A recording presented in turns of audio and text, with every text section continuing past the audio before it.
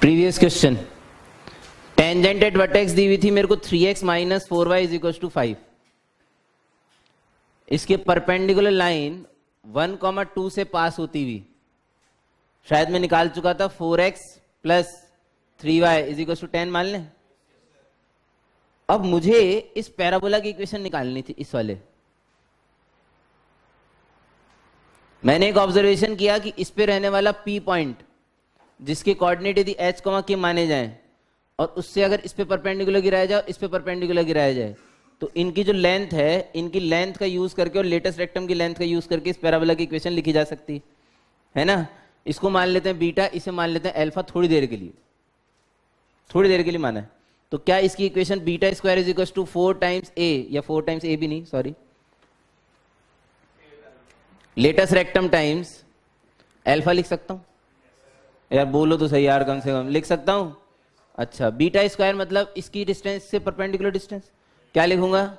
Four h plus three k minus ten upon five का whole square. Mod लगाने का logic नहीं है क्योंकि स्क्वायर करना था इज़ इक्वल टू कितना आया था latus rectum eight times mod three h minus four k minus five upon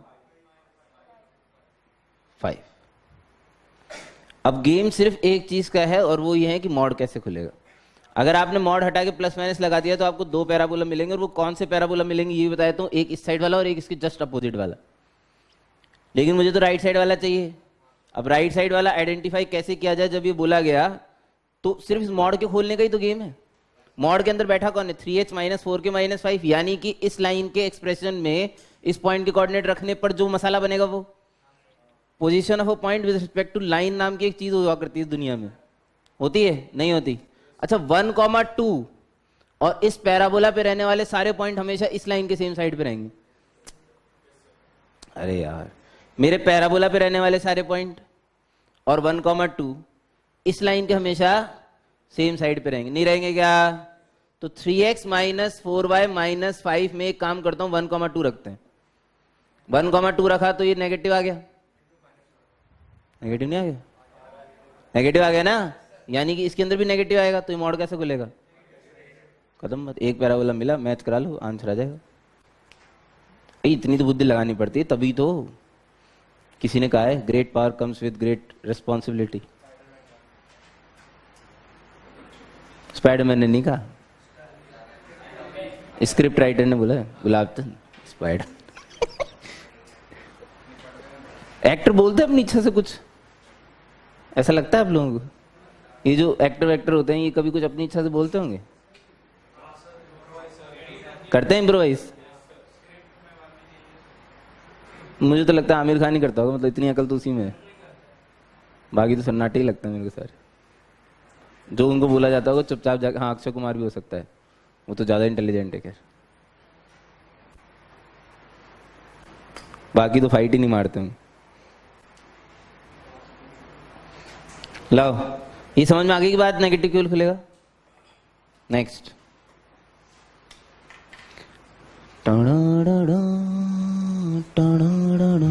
किससे नंबर छह कर लिया हमने कल। बहुत हो गए भाई।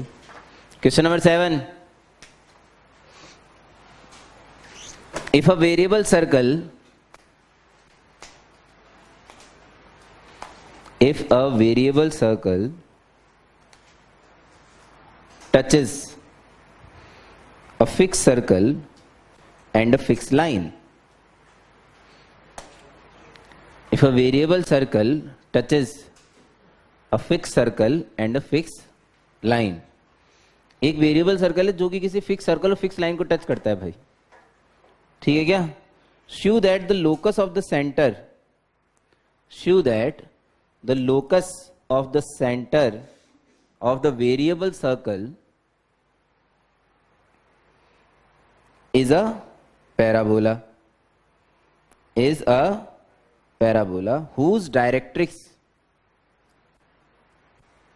whose directrix is parallel to the given is parallel to the given line at a distance equal to, at a distance equal to the radius of the given circle.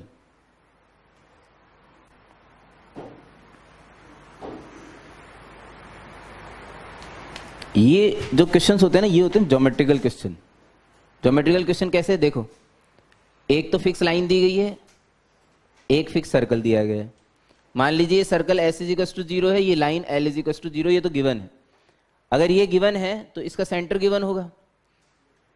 ये तो गिवन क्वांटिटी है भाई सी इसका centre पता है, इसकी radius पता है, इसकी रेडियस मान लेते हैं। कैपिटल आर थोड़ी देर के लिए। अब एक वेरिएबल सर्कल है इस दुनिया में, जो इस सर्कल को और इस लाइन को हमेशा टच करता है। इस सर्कल के सेंटर का लोकस निकालना है तो इसे पी एच के मान रहा हूँ मैं। अब इस सर्कल की भी कुछ तो रेडियस होगी ना। उसे कैपिटल आर मान लेते हैं। इस सर्कल की जो रेडियस है, उसे मैंने कैपिटल आर मान लिया। ये कैपिटल आर ये स्मॉल आर ये फिक्स है और ये वेरिएबल है। उल्टा हो गया? सॉरी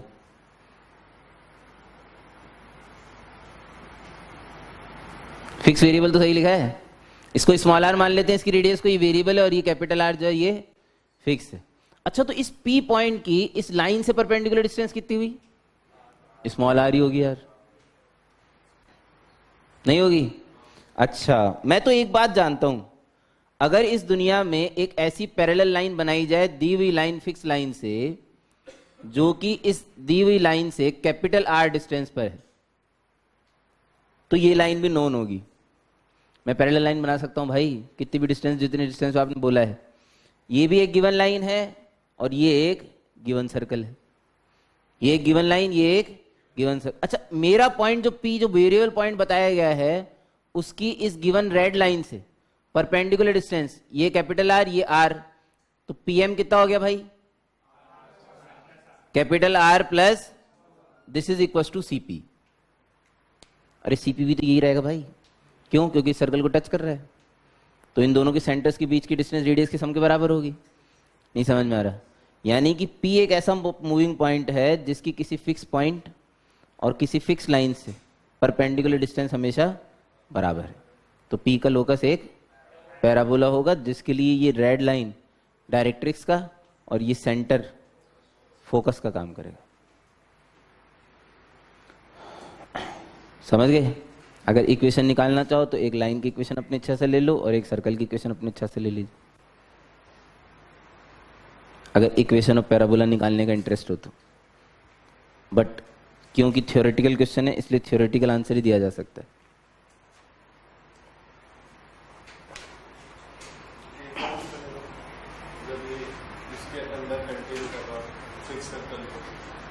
तो वो इधर आ जाएगी।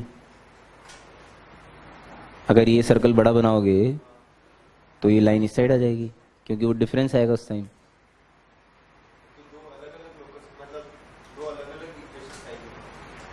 इक्वेशन कुछ भी है आई डोंट केयर मेरे को तो ये प्रूव करना था कि पैराबोला बनेगा। पहली बात। दूसरी बात, उसकी जो डायरेक्ट्रिक्स होगी, वो इसके पैरेलल होगी। इतनी डिस्टेंस पे जितना रेडियस है। मुझे तो इतना ही प्रूव करना था ना।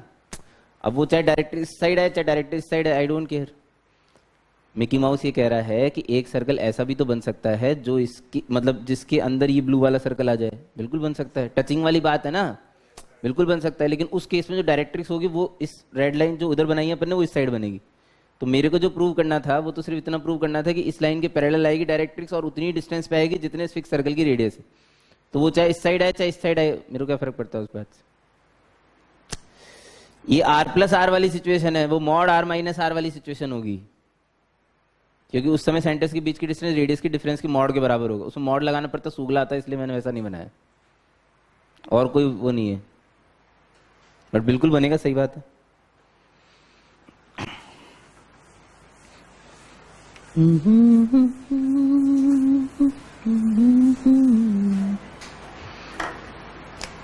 Question number eight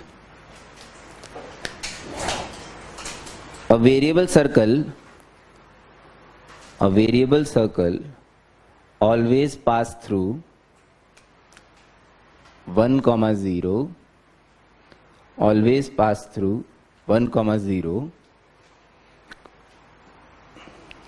and touches the curve y is equals to tan tan inverse x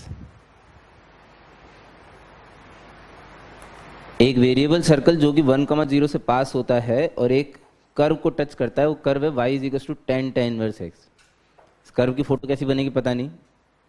Find the equation of the locus find the equation of the locus of the centre of the variable circle क्या ये कर सोच पाए y इजिकल to tan ten verse x वैसे तो सोच पाना चाहिए कायदे से आप। हैं? वाई इजिकल टू ये वाई इजिकल टू एक्स को लिखने का बेहद बदसूरत तरीका है।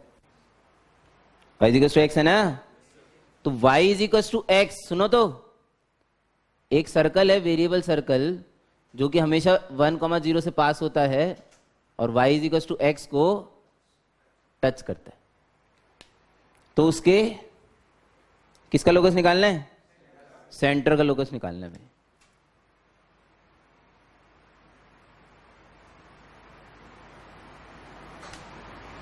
यहाँ मान लीजिए वन कोमा ज़ीरो पॉइंट है।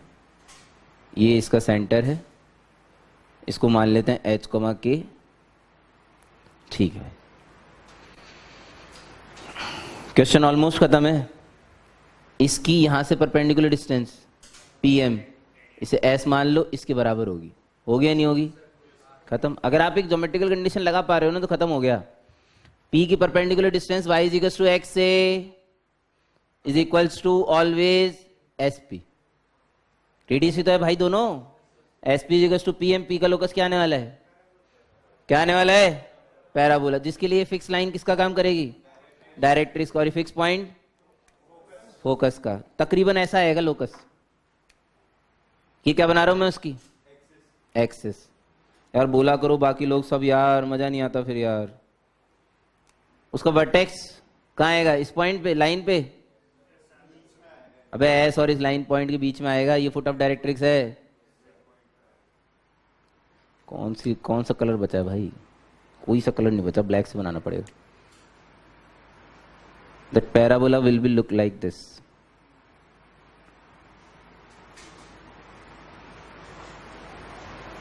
इस तरह का बनेगा। इसे ऑब्लिक पैराबोला बोलते हैं। जिनके एक्सेस मेरे एक्स वाई एक्सिस यानी कोऑर्डिनेट एक्सिस के पैरेलल नहीं होते, उन्हें बोला जाता है ऑब्लिक पैराबोला इसकी इक्वेशन लिखने के लिए क्या करना है? एस पी बराबर पी एम एस पी जल्दी। एच माइनस वन का होल स्क्वायर तुम बोला करो यार, तभी k square is equal to p m mod h minus k upon root two का होल स्क्वायर उधर अंडर रूट नहीं लगाया ना इसलिए. This will be the locus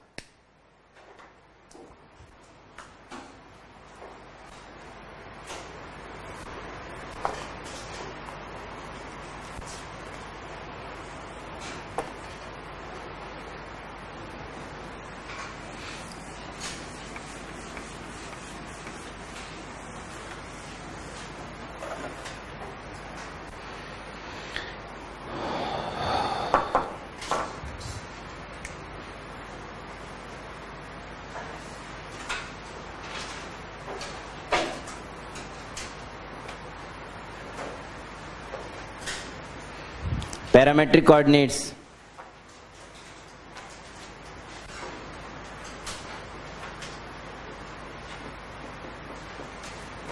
for y square is equals to 4ax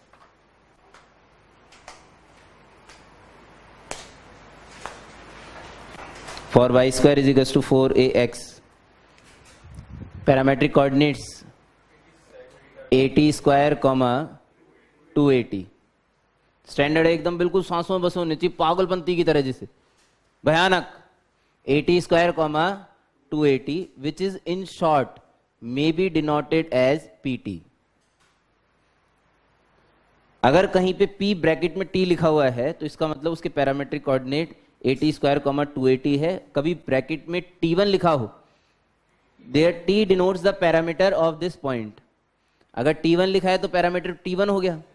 तो कोऑर्डिनेट हो जाएँगे a t one square comma two ठीक है? अपन जिस उम्र में हैं या अपन जिस फाइट को लड़ने जा रहे हैं no one will ever ask you to the coordinate कोई आपसे कोऑर्डिनेट नहीं पूछेगा पैरामीटर देखे अरे, ऐसा थोड़ी होता है भाई। लेकिन उल्टा पूछ सकता है।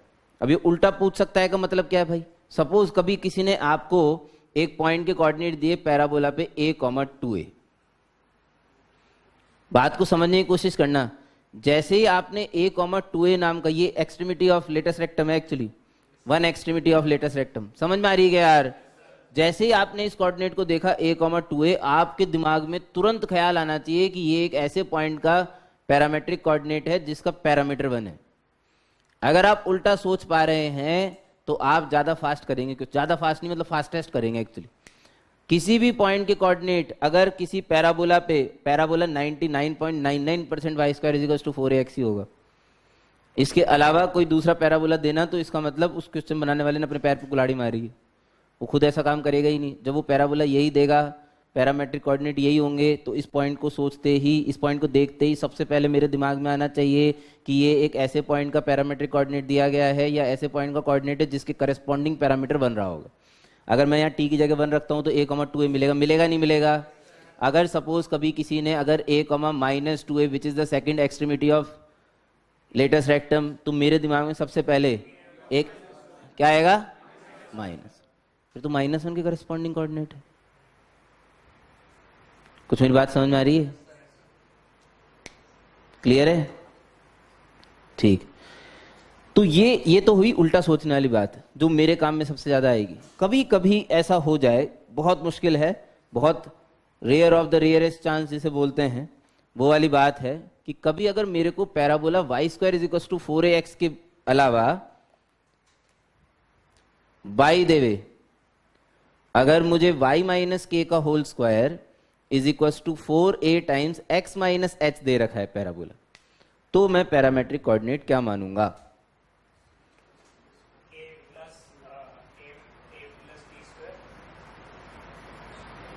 ऊपर वाले से तो डरो कम से कम। एक्स कोऑर्डिनेट में के जोड़ रहे हो यार, तुम मतलब कैसे ढक्कन हो?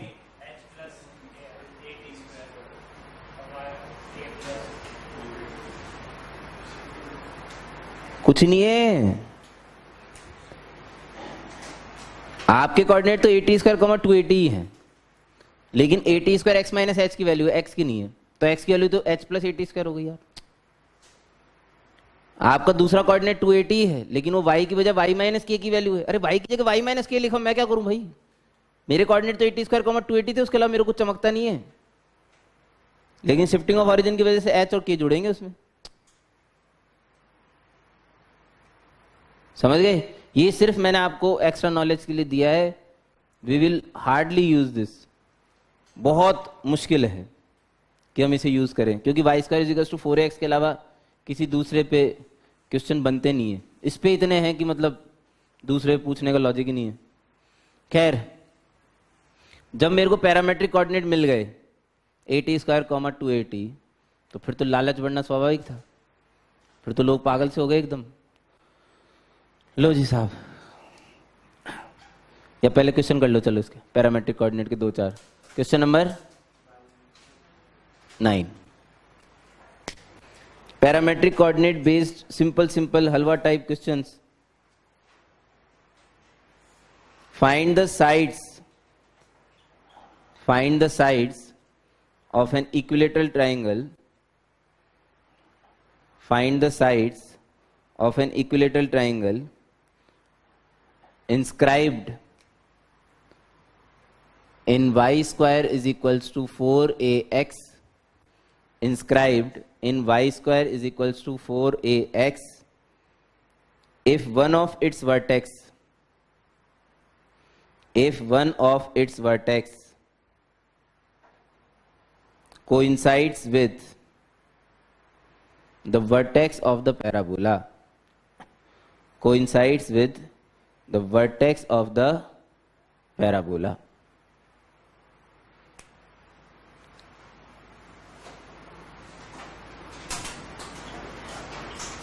मान लीजिए, एक पैराबोला है। इसके अंदर एक इक्विलेटरल ट्रायंगल इंस्क्राइब करना है। इंस्क्राइब करने का मतलब ये होता है कि उसके तीनों वर्टेक्स इस पैराबोला के पैराबोला कर पे लाए करे। तीनों वर्टेक्स तो ड्यू टू महाभीषण सिमेट्रिसिटी ये वाली साइड वर्टिकल होगी। अदरवाइज़ आप इसे इंस्क्राइब नहीं करवा पाओगे। अगर ये सिमेट्रिक नहीं हुआ, आप सोचोगे नहीं यार, इसको आगे ले जाऊँ, इसको पीछे ले जाऊँ। तो ये नहीं बनेगा। सिमेट्रिसिटी नाम की भी एक चीज़ होती भाई। इसको मान लेते हैं, ए, ये वाला एंगल कितना होगा, कोई आइडिया थर्टी डिग्री ठीक है? अच्छा साहब ओके दो रास्ते हैं आपके पास। एक, इस पी पॉइंट के कोऑर्डिनेट एच कमा के मान लो। ड्यू टू महाभीषण सिमेट्रिसिटी इस पॉइंट के coordinate H comma minus K हूँ। मान रहे हो क्या यार? अच्छा ये वाला पॉइंट के ये distance h k by h is k by h is tan thirty tan thirty मतलब वन बाय रूट थ्री यानी कि एच बराबर रूट थ्री के एच बराबर रूट थ्री के बिना डिस्टेंस फॉर्म लेके side of the equilateral triangle is two k बिना डिस्टेंस फॉर्म लेके side of the equilateral triangle is two k mod लगाना मॉड लगा लो, चाहो तो। चाहो तो मॉड लगा लो, वैसे एच कोमा के क्योंकि मैंने फ़र्स्ट पॉइंट माना है, इसलिए पॉजिटिव है। मास्टर तेरे गया तब कैसे पता कि फ़र्स्ट में माना है? इसलिए मॉड लगा लिया। या तो ऊपर होगा या नीचे होगा बस। एच कोमा के जो है, वो या तो ऊपर होगा या नीचे होगा। या तो वाई पॉजिटिव होगा वाई नेगेटिव इससे ज़्यादा तो कुछ हो नहीं सकता, क्योंकि ए तो हम पॉजिटिव ही मान के चलते हैं y square equals to four x में। तो पैराबोला तो इसी साइड है। ठीक है। एच बराबर क्या आ गया? रूट थ्री के। कहाँ रखू इसको?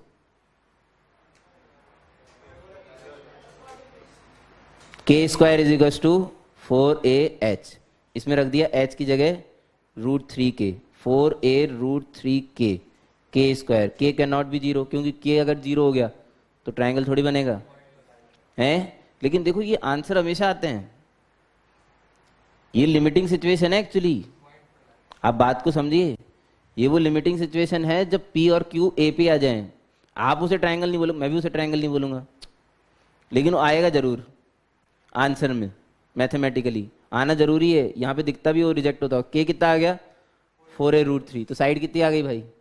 ए नहीं मानना चाहिए साइड को, गलत बात है। ए हमारे पास और भी ए मार्केट में पहले से अवेलेबल था। नहीं समझ में आ रहा। ए था ना भैया, बुरा मान जाते हैं लो भाग नहीं तो। ये साइड एस मान लो, चलो। हाँ कितनी होगी side? Eight a root three.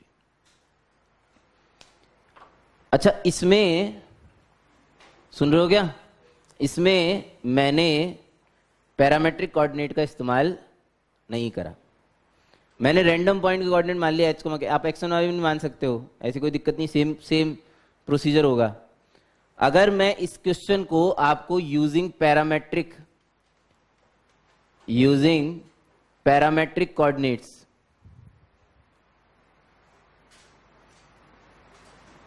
पिछले आठ दस महीनों से मैं आपको एक ही बात बोल रहा हूँ पैरामेट्रिक कोऑर्डिनेट मानने का सिर्फ़ और सिर्फ़ और सिर्फ़ और सिर्फ़ और सिर्फ़ एक ही सबसे बड़ा फ़ायदा है कि दो वेरिएबल नहीं मानने पड़ते। एक टी मानोगे, आपको दोनों कोऑर्डिनेट मिल जाएँगे। क्लियर है क्या? अगर मैं इसकी पैरामेट्रिक कोऑर्डिनेट मानता तो मैं मानता a t square comma two at तो इस पॉइंट के कोऑर्डिनेट क्या हो जाते? मज़ा नहीं आ रहा। A t square comma minus two a t, इसकी लेंथ हो जाती ए टी स्क्वायर, इसकी लेंथ हो जाती टू एटी, मेरी साइड लेंथ हो जाती फोर एटी। किसी को समझ में आ रहा है क्या? This upon this two a t upon a t square is equal to one upon root three t t cancel two नहीं I a cancel two upon t बराबर one by root three t कितना आ गया भाई? To root three जैसे ही T उठा के यहाँ रख दूँगा get the answer at a root three ये जितना छोटा पड़ा वो भी बता देता हूँ इसका छोटा पड़ने वाला जो जगह है, वो है सिर्फ़ ये। मुझे पैराबोला में एच कमक के रखने की ज़रूरत नहीं पड़ी, क्योंकि बाय डिफ़ॉल्ट जो कोऑर्डिनेट माने गए a t square comma two a t वो मेरे पैराबोला को सेटिस्फाई करते हैं। ये पैरामेट्रिक कोऑर्डिनेट मानने का फ़ायदा है कि आपको रैंडम पॉइंट्स कर्व की इक्वेशन में रख के मिलने वाली कंडीशन की ज़रूरत लगाने की ज़रूरत नहीं पड़ती। Clear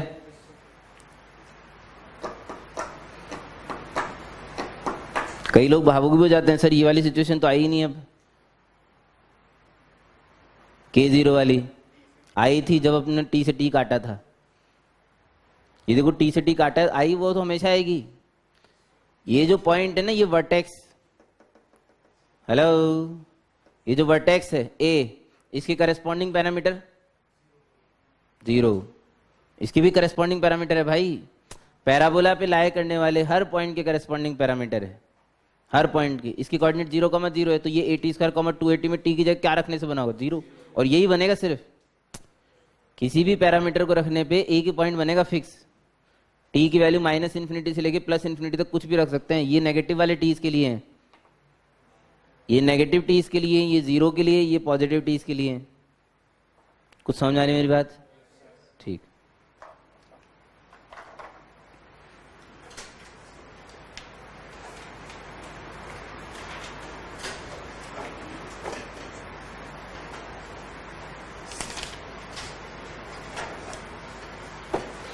Find the locus.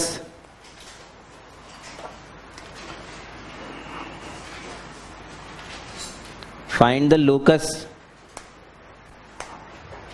of the point of trisection find the locus of the point of trisection of the double ordinate of the double ordinate of any parabola.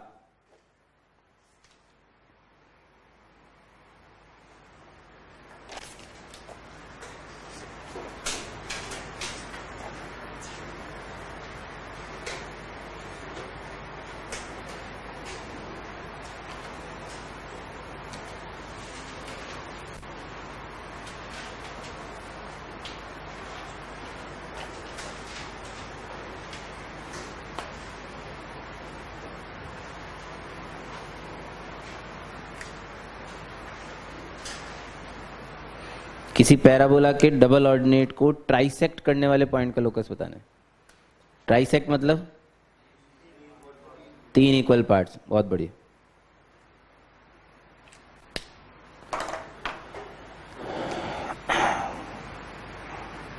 जब भी किसी क्वेश्चन में वाइस पैराबोला की question नहीं दी होगी तो हम हमेशा y's square to four x मानेंगे, क्योंकि उसके लिए स्टैंडर्ड रिज़ल्ट पता होते हैं। बाय डिफ़ॉल्ट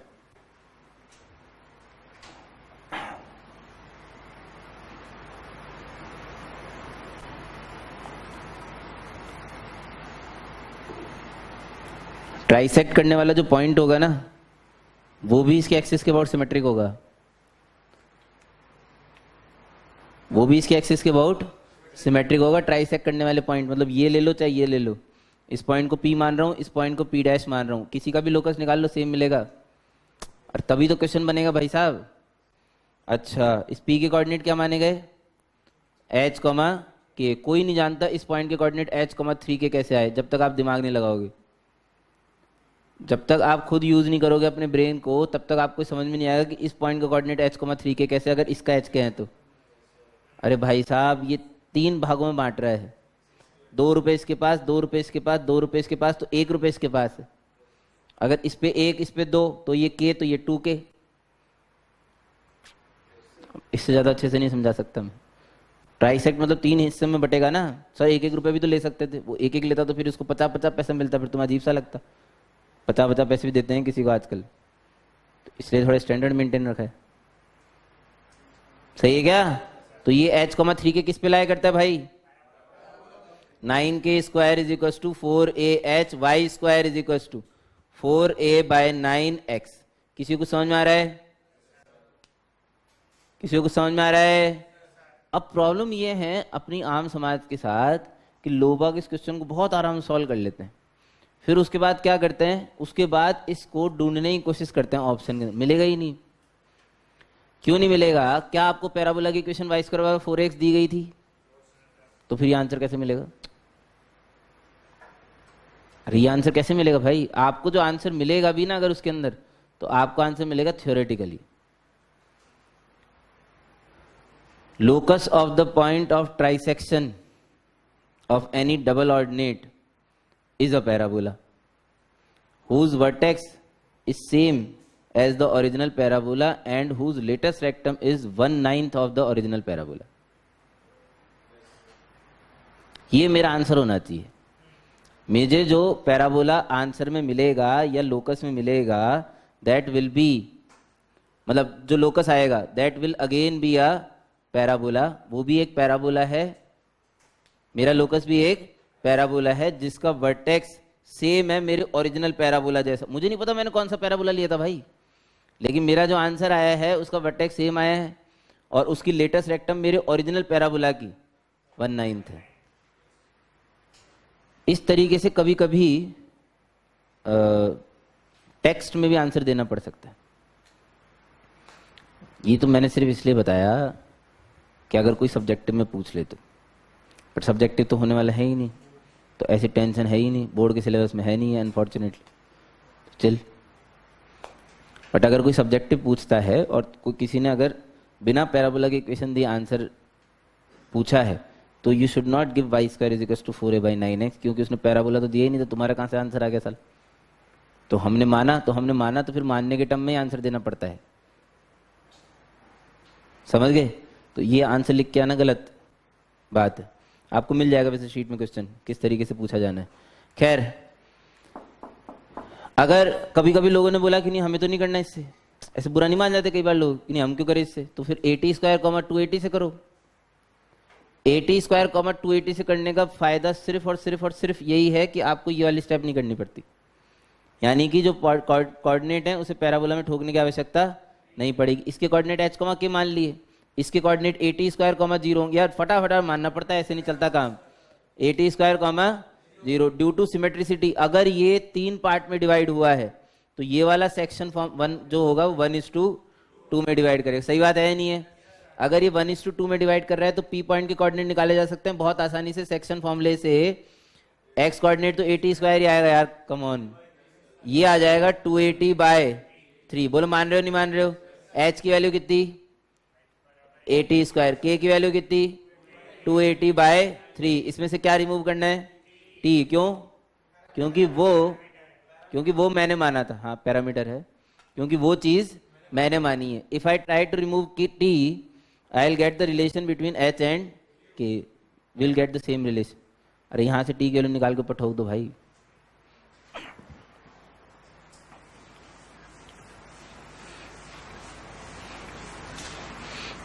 तरीके दोनों आने चाहिए। तरीके तो जितने ज़्यादा आ सके, उतने बढ़िया हैं।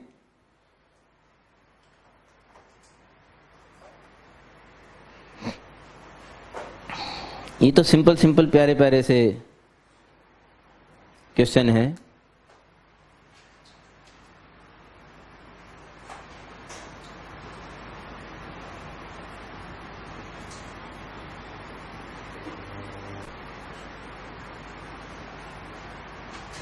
Position of a point with respect to parabola.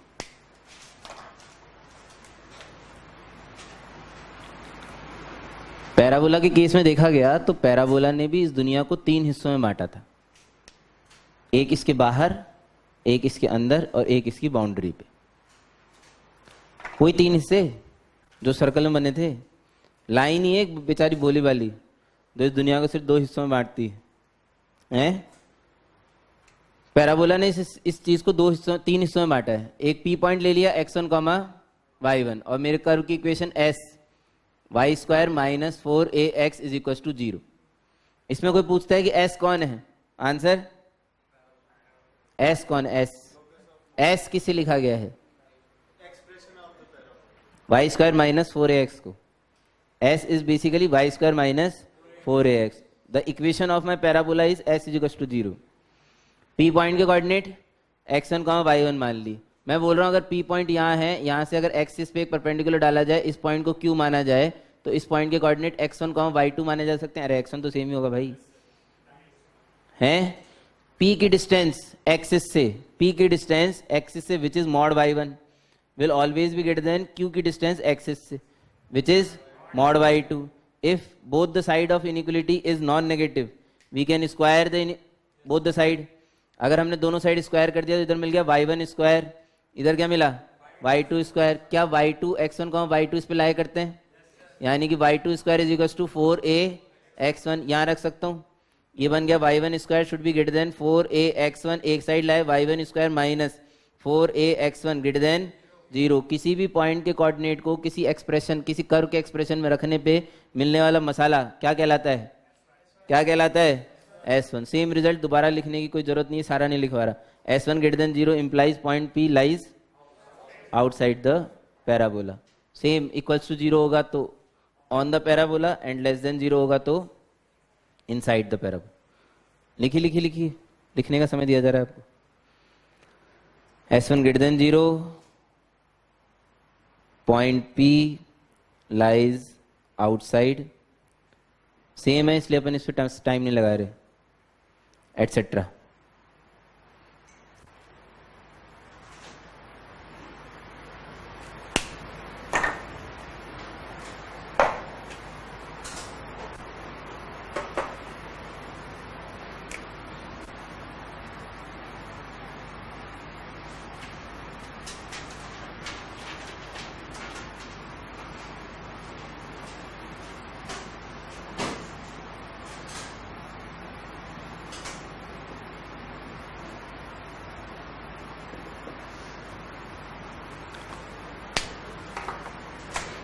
equation of chord joining pt1 and qt2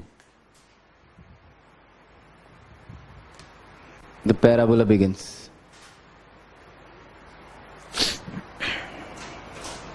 अभी तक हमने कोई स्टैंडर्ड रिज़ल्ट नाम की चीज़ मार्केट में नहीं लाए अब से स्टैंडर्ड रिज़ल्ट चालू हो रहे हैं।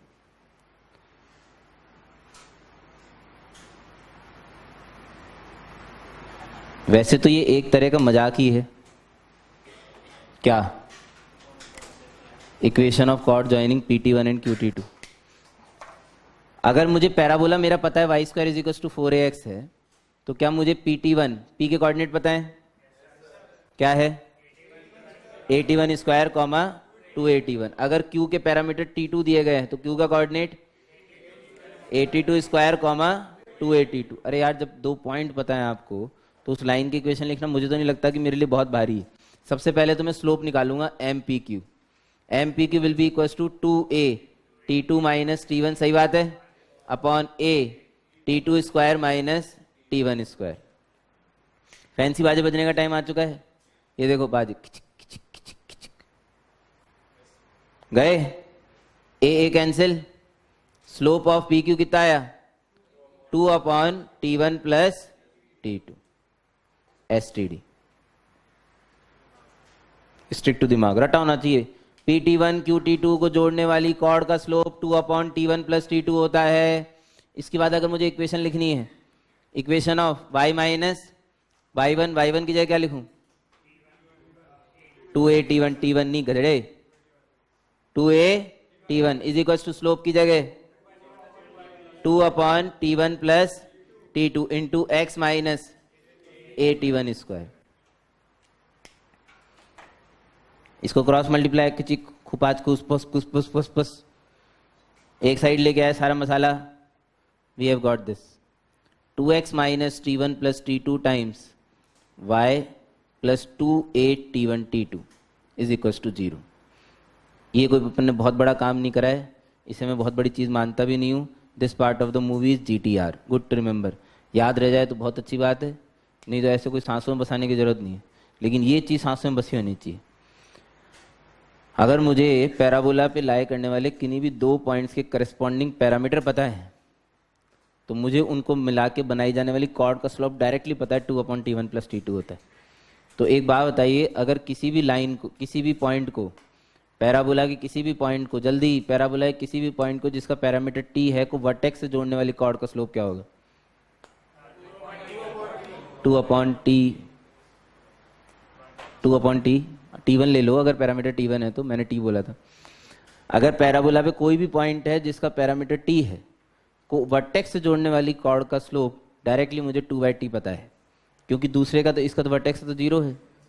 अरे उसका भी पैरामीटर है भाई ज़ीरो ये मानना पड़ेगा अपने को। तो हम डायरेक्टली लिख पाएँगे टू बाई टी बहुत फास्ट करेंगे क्वेश्चन बहुत फास्ट दुनिया सोच ही नहीं पाएगी। उतनी देर में तो आंसर आ जाना चाहिए। Two x minus t one plus t two times y plus two a t one t two is equal to zero मेरा पी क्यू कॉर्ड का स्लोप आया जिसके एक्सट्रीमिटीज पी और क्यू के पैरामीटर मुझे टी वन और T two दिए गए थे। इसे रटने की कोई आवश्यकता नहीं है। ये आया कैसे, वो ये रहा। अब इसमें एक स्टेप में खा गया हूँ बीच में। इसे क्रॉस मल्टीप्लाई करने वाली। बट इसमें स्लोप तो आपको नज़र आ रहा होगा two upon t one plus t two slope तो खट से नज़र आना चाहिए लाइन की इक्वेशन देखते ही। इसका इसका कॉफिशियंट अपॉन इसका कॉफिशियंट माइनस के साथ। चलो खैर। कर क्या रहा था मैं इसके आगे। इसको रिश्ता नंबर वन मान लेते हैं। If code P Q if code P Q hashtag के साथ लिखें। If code P Q passes through a fixed point, if chord PQ passes through a fixed point on axis. On axis से C comma zero अगर मेरी chord P Q axis के किसी fix point C comma zero से पास होती है, कोई भी फिक्स मतलब सी कॉमा ज़ीरो से तो इन्फाइनाइट कॉर्ड्स पास हो सकती है भाई। ऐसी कॉर्ड हो सकती है, ऐसी कॉर्ड हो सकती है। ऐसी कॉर्ड हो सकती है। सी कॉमा ज़ीरो से पास होने तो इन्फाइनाइट कॉर्ड्स हो सकती है। अगर मेरी कॉर्ड सी कॉमा ज़ीरो से पास होती है तो सी कॉमा ज़ीरो से सेटिस्फाई करेगा। और कौन सी बड़ी बात हो गई? तो सी कॉमा ज़ीरो उठा के ठोक देते हैं इसके अंदर। हैं? ठोको। Two C plus two a t one t two is equal to zero t one t two is equal to minus C by a very very very very important is constant. Remember. अगर मेरी P t one Q t two को मिलाकर बनाई जाने वाली cord axis के किसी fix point से पास होती है तो टी वन और टी टू का प्रोडक्ट हमेशा कांस्टेंट आएगा उस कांस्टेंट की value minus c by a मेरी बात ध्यान से सुनो, उस कांस्टेंट की value minus c by a y square is equal to four x के लिए आई है. This will be constant always फिर से वापस कह रहा हूँ, किसी भी पैराबोला आई डोंट केयर कि पैराबोला कौन सा है, किसी भी पैराबोला कि किन्हीं भी एक्सट्री किन्हीं भी दो पॉइंट्स को मिलाकर बनाई जाने वाली कॉर्ड एक्सिस के यदि किसी फिक्स पॉइंट से पास होती है तो उनके पैरामेट्रिक्स का प्रोडक्ट हमेशा कांस्टेंट आता है. And in case of y square is equal to four x अगर उस फिक्स पॉइंट के कोऑर्डिनेट सी कॉमा ज़ीरो है तो product minus c by a के बराबर आएगा। इंग्लिश में मैंने जो बोला है, वो ये है कि ये वाला रिज़ल्ट सिर्फ़ y square is equal to four a x और सी कॉमा ज़ीरो के करस्पॉन्डिंग आया है। लेकिन ये कांस्टेंट फॉर एनी पैराबोला है। इसका कांस्टेंट होना पैराबोला की प्रॉपर्टी है। इसकी value minus c by a आना पर्टिकुलर केस है। जब मैंने parabola y square equals to four a x लिया और पॉइंट के कोऑर्डिनेट सी कॉमा ज़ीरो लिए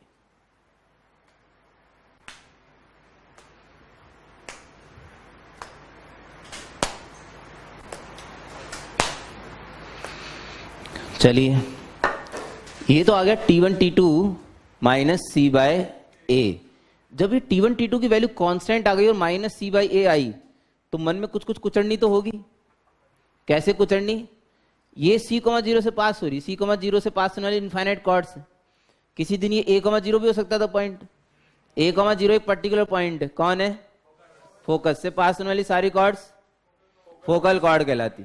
तो अगर ये सी कोमा ज़ीरो से पास होने की बजाय ये कॉर्ड्स अगर फोकल कॉर्ड होती, क्या होती? Focal chord hence for focal chords T one into T two बराबर। सी की जगह क्या रखोगे? ए क्या आ गया? माइनस बहुत प्यारे रिजल्ट्स हैं, बहुत अच्छे रिजल्ट्स हैं। अगर दो, चार, पाँच, दस बार इनको पढ़ते रहोगे, फर्रे बना के दीवारों पे चिपका लोगे, ज़िंदगी में बच जाएँगे। और आप बहुत फास्ट करोगे question believe me T one T two बराबर माइनस वन भाई साहब फोकल कॉर्ड के एक्सट्रीमिटीज का फोकल कॉर्ड के एक्सट्रीमिटीज के पैरामेट्रिक का जो भी कोऑर्डिनेट्स होते हैं, उनका प्रोडक्ट हमेशा माइनस वन आता है। बहुत बढ़िया बात है भाई साहब। अगर टी वन टी टू बराबर माइनस वन आया तो मेरे को एक और हैश टैग मिल गया। फिर से मुर्गियाँ।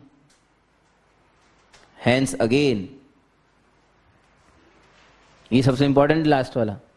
Hence again the parametric coordinates the parametric coordinates of the extremities of a focal chord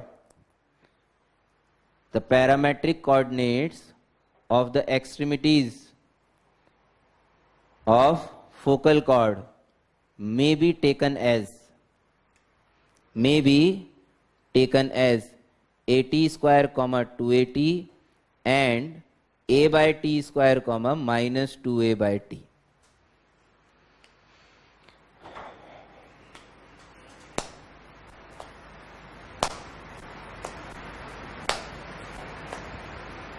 हम तो मर गए सनम मेरे और सार्थक जी के साथ कितने लोग हैं साँसें बाहर आ गई जिनकी एकदम बिल्कुल। ये पक्का? कैसे है बता?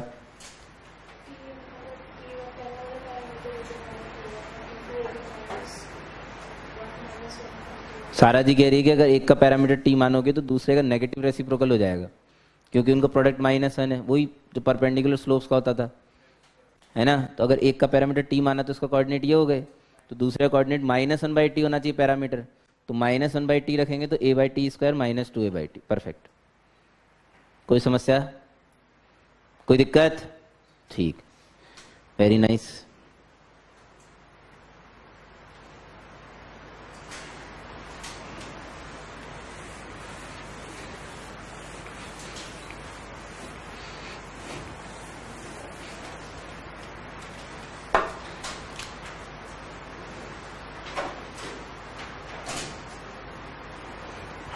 focal distance of a point P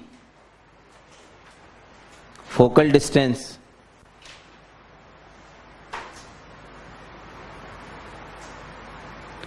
of a point P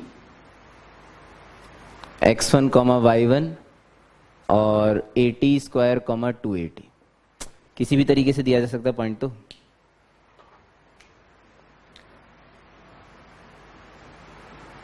फिर लोगों को हँसी आई, यार, कैसे गुलाब चंद हो यार तुम?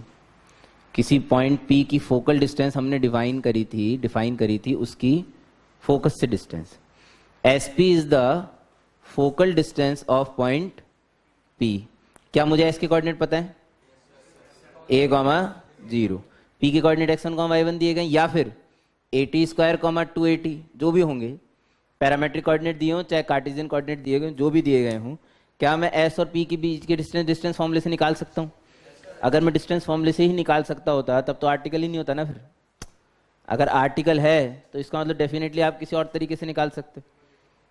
अरे डेफिनेटली आप किसी और तरीके से निकाल सकते हो। मैंने यहाँ पे एक डायरेक्ट्रिक्स बना दी। यहाँ पे एक डायरेक्ट्रिक्स बना दी। इस पी से यहाँ पे एक परपेंडिकुलर गिराया, ये मंकी था। पता पड़ा एस पी पी एम के बराबर है। एस पी क्या है? पी एम के बराबर तो पी एम तो बिना डिस्टेंस फॉर्म लेके निकाल सकते हो भाई। है? ए प्लस एक्स वन यहाँ इस पूरे ड्रामे में माना गया है कि ए पॉजिटिव है, जो हम शुरू से कहते आए हैं। मेरा पैराबोला जो मैं वाइस करेजिकस टू फोर एक्स मानता हूँ, उसके लिए मैं मान के चलता हूँ कि ए पॉजिटिव है तो ये डिस्टेंस ए ही है। और अगर ए पॉजिटिव है तो पैराबोला राइट साइड में ही है तो एक्स वन भी पॉजिटिव है। तो ये डिस्टेंस ही पॉजिटिव है, ये डिस्टेंस ही पॉजिटिव तो जोड़ा जा सकता था डायरेक्ट इसलिए मॉड नहीं लगाया, ये समझा रहा हूँ। ए प्लस एक्स वन बोल सकता हूँ क्या? क्या a plus a t square भी बोला जा सकता है?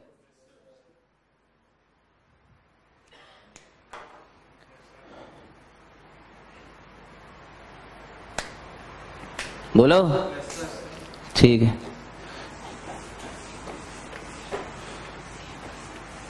एक और स्टैंडर्ड रिज़ल्ट हैशटैग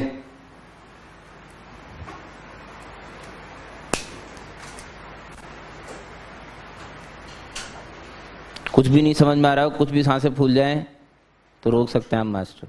ऐसे परेशान होने की ज़रूरत नहीं है।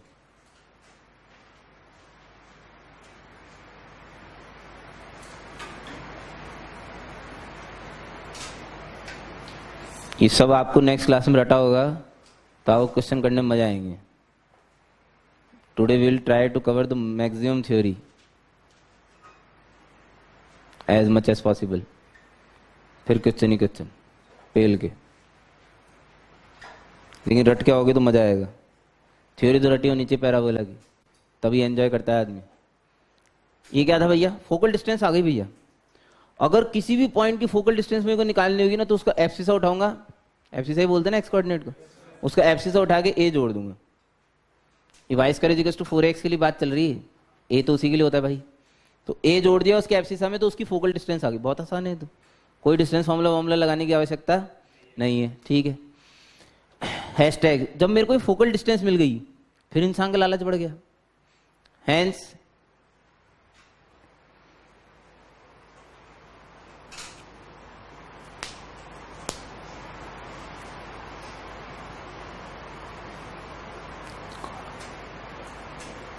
the focal chord of minimum length,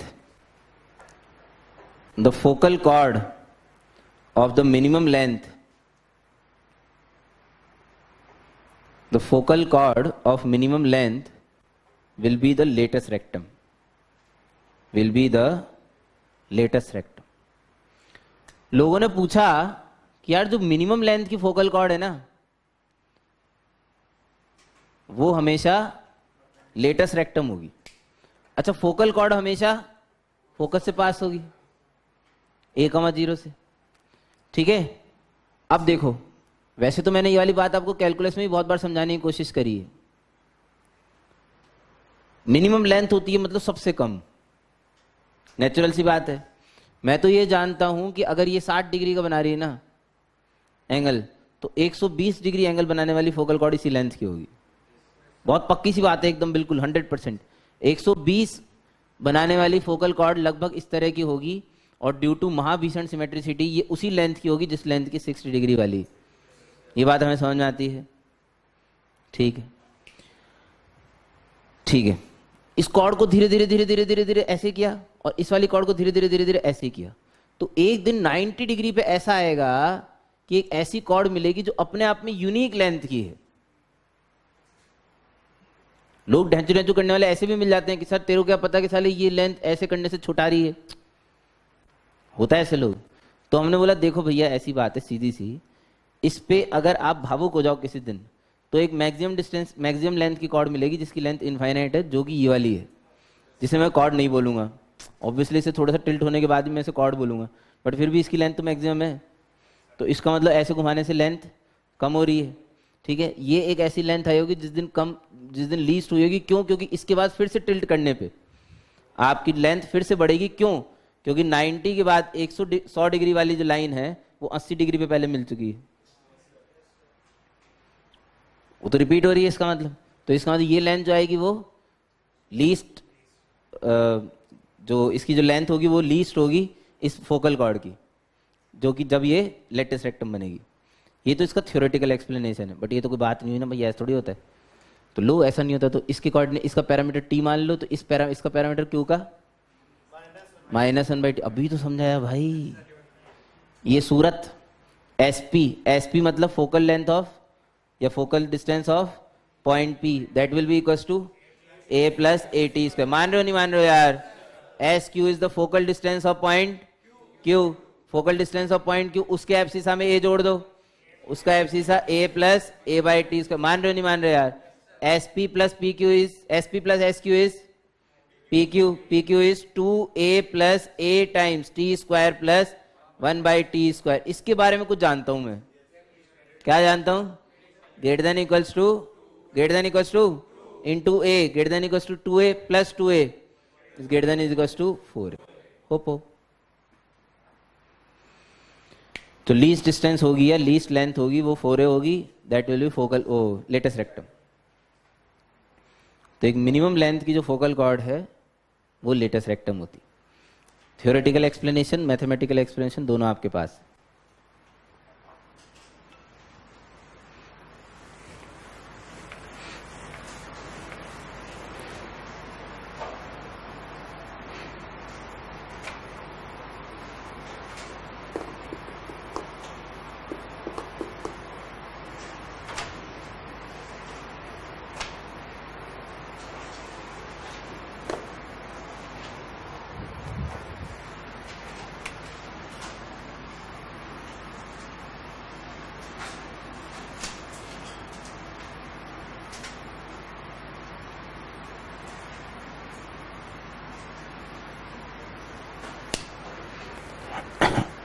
line and parabola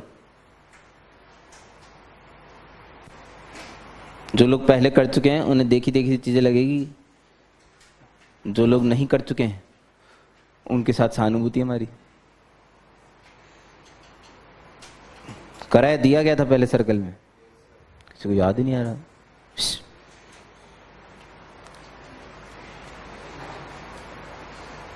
दिया गया था? करा नहीं था तुमने? सच में? तुमसे तो उम्मीद नहीं थी मेरे को।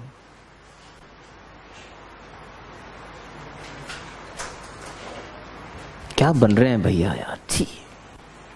हद बदतमीज। हम्म, ये बेटर तरीका है।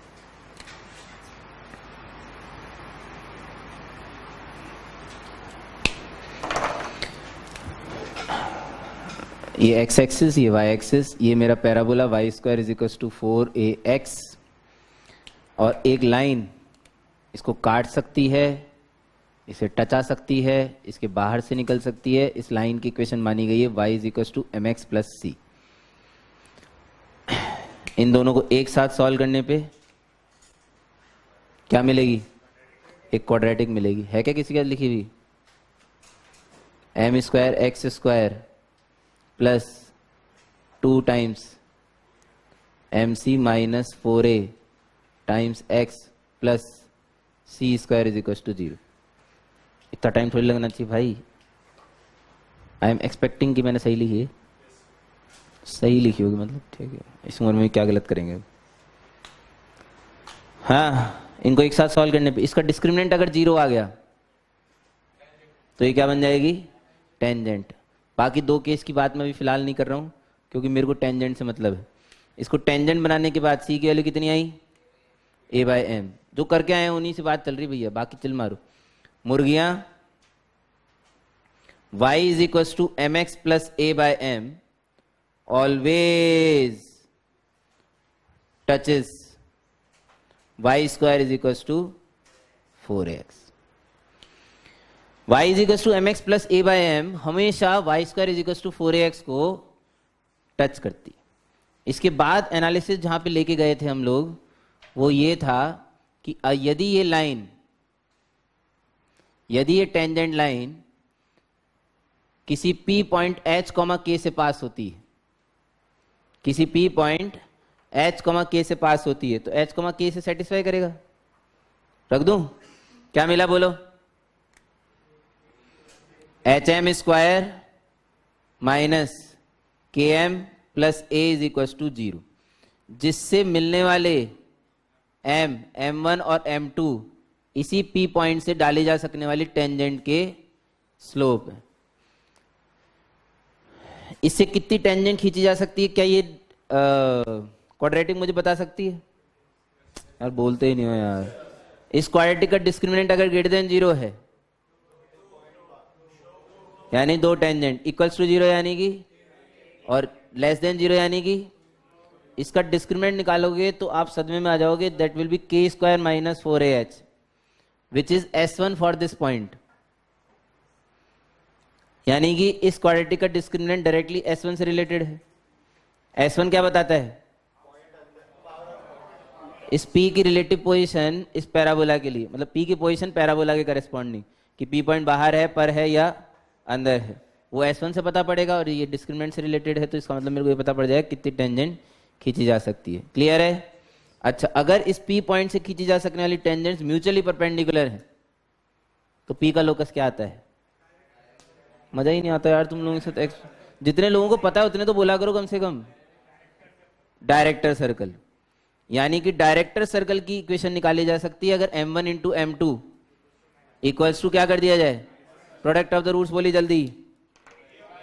A by h is equal to minus one slope आ गया लोकस आ गया x is equal to minus one which is actually the directrix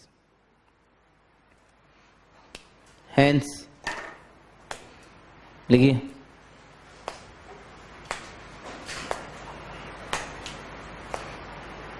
अभी तो शुरू किया फ़ोटो बनाने, बताओ क्या करूँ मैं? छापना ही चालू नहीं करा अभी तक। तो अब किधर खड़ा हूँ मैं? इधर खड़ा हूँ, लोग इधर देखने लग जाते हैं, उधर खड़ा हूँ, लोग उधर देखने लगे पता नहीं क्या। इतनी बार समझा दी, मेरे को देखने से कुछ नहीं होगा। बोर्ड देखो। बाज ही नहीं आते लोग बाग। मैं नहीं हट रहा। वो लिखना लिखो, छोड़ दो फिर।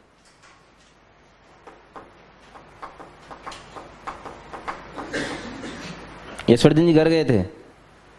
हैं? कब आए?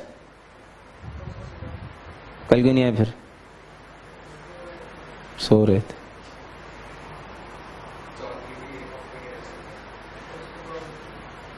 हैं? ऑपरेशन हुआ है? क्या हो गया?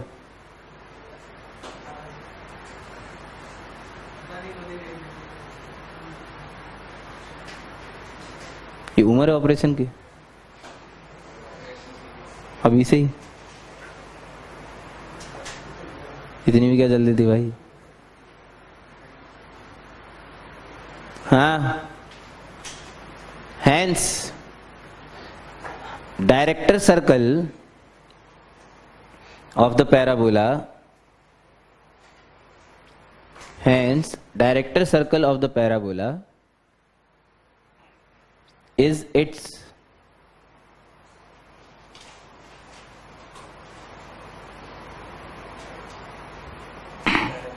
is its directrix ये डायरेक्ट्रिक्स तो आई भैया। तो कोई भी पैराबोला अगर मेरे को उसका डायरेक्टर सर्कल पूछा जाएगा तो मैं मुझसे इन शॉर्ट उसकी डायरेक्ट्रिक्स की इक्वेशन पूछी गई है। सीधी सी बात है, बस और कुछ नहीं है। क्लियर है? ठीक।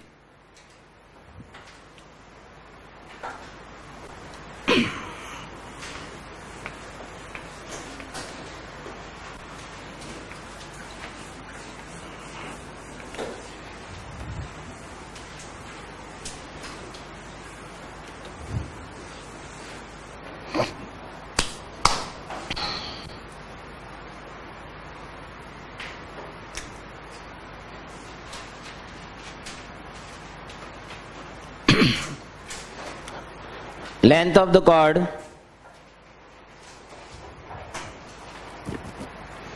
length of the chord intercepted on y is equals to mx plus c by y square is equals to 4ax is 4 by m square root under a into 1 plus m square a minus cm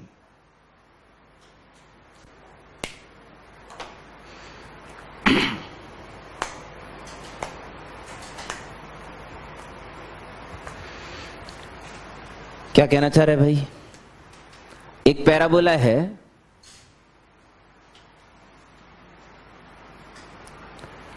उसकी एक cord है, जिसकी equation मेरे को दी हुई है, y is equal to m x plus c तो जो पी क्यू लेंथ की जो कॉर्ड इसने इंटरसेप्ट करी है, इस पी क्यू की लेंथ ही आएगी। यही तो हुआ। इसकी बात वैसे मैं पहले कर चुका हूँ आपके साथ। अगर मैं इसे x1 वाई वन और इसे एक्स टू वाई टू मानता हूँ, सुनोगे तो मज़ा आएगा, ध्यान से। अगर मैं इसे एक्स वन वाई वन इसे एक्स टू वाई टू मानता हूँ तो पी क्यू लेंथ निकालना मेरे लिए मुश्किल इसलिए नहीं है क्योंकि मेरे पास एक डिस्टेंस फॉर्मूला नाम की चीज़ होती है। X one minus x two का whole square y one minus y two का होल स्क्वायर हो सकता है आपको याद आ जाए मेरी एक छोटी सी चीज़। X one minus x two difference of the roots जिसकी मतलब एक्स की क्वाड्रेटिक की डिफरेंस ऑफ़ द रूट जिसके रूट्स एक्स वन और एक्स टू रहे होंगे। कहाँ से आएगी वो क्वाड्रेटिक इस लाइन को y is equal to m x plus c को इस पैराबोला वाई स्क्वायर इजिकल टू फोर एक्स के साथ सॉल्व करके एक्स की क्वाड्रेटिक बना लो। नहीं आ रहा समझ में? उसके रूट्स कौन है? एक्स वन और उसके डिफरेंस ऑफ़ द रूट यानी कि root d upon mod a से मेरा काम चल जाएगा। नहीं? सी सेइंग यस ओके चल जाएगा। सही है? ठीक। है फिर y one minus y two के लिए भी सेम काम करूँगा। याद आ रहा है क्या अभी भी, कि अभी भी तक भी याद नहीं आया कि ऐसा काम हम पहले कर चुके हैं? क्या दोनों ही इक्वालिटी बनाने की ज़रूरत है? इस एक्स वन वाई वन और इस एक्स टू वाई टू को यहाँ रख दो। इस एक्स वन वाई वन और इस एक्स या फिर? सही बात है, किसी ने बोला भी y two minus y one upon x two minus x one is the slope of this line actually तो y two minus y one को लिखा जा सकता है m times x two minus x one रख दूँगा यहाँ पे। जल्दी जल्दी बोलो यार। तो x two minus x one common तो mod x one minus x two तो आ गया बाहर। अंदर कौन बचा? इतना काम तो हो गया भाई। सिर्फ़ कौन क्या निकालना है? Mod x one minus x two यानी कि सिर्फ़ किसकी क्वालिटी बनाने की ज़रूरत है? किसकी? एक्स ये बन गई क्वालिटी एक्स की। M square x square plus two times m c minus two a times x plus master रट रखी तूने? नहीं। रट वट कुछ नहीं रखा भाई साहब। कॉन्सेप्ट क्लियर है, इसका स्क्वायर किया ना मन में, और फोर एक्स को इधर लिया, बस और कोई काम थोड़ी किया हमने। उम्मीद है सही लिखा है, बस ठीक है, सही लिखा होगा। इसका डिफरेंस ऑफ़ द रूट क्या हो गया भैया? रूट डी रूट के अंदर डी डी मतलब? जल्दी जल्दी यार। बी स्क्वायर माइनस फोर इसी तो बोला करो कम से कम। तो वो भी नहीं बोला जाता तुम लोगों से। Four times m c minus two a का whole square minus m square c square सही लिखा है क्या? अपॉन टू क्यों? Root d y mod a ही होता है। एम स्क्वायर मॉड नहीं लगा रहा मैं, मेरी इच्छा। लगाऊँ? लगाऊँ? नहीं सी सिंह नो नहीं लगा रहा। एम स्क्वायर मॉड लगाओ, बेशरम। कुछ तो शर्म करो यार। अजीब दासता है ये। कहा शुरू, कहा खत्म? अबे फोर बार आएगा, टू आएगा, गुलाब चंद है शांत गा था अरे शांत। ये फोर कॉमन लिया, मैंने अभी तक तो और कुछ नहीं करा। टू आएगा बाहर वो स्क्वायर कर रहा हूँ, बाद में सबर तो रख दो, मिनट यार। अब इसका स्क्वायर कर दिया m square c square m square c square cancel four a square minus four a c m लिख रहा हूँ एसीएम जिससे सेम आ जाए इसलिए। नहीं तो फिर रोगे अरे सेम नहीं आया। सीएम था एम सी आ गए तुम्हारे। अब यहाँ से फोर और फोर और कॉमन ले लोगे तो बाहर हो जाएगा फोर अपॉन एम स्क्वायर अंदर आ गया a into a minus c m इसको under one plus m square और मल्टीप्लाई कर दो तो आंसर आ गया। होपो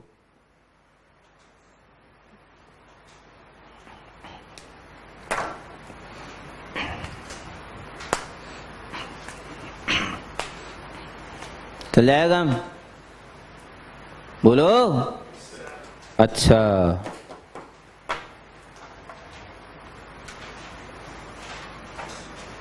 ऑलीचर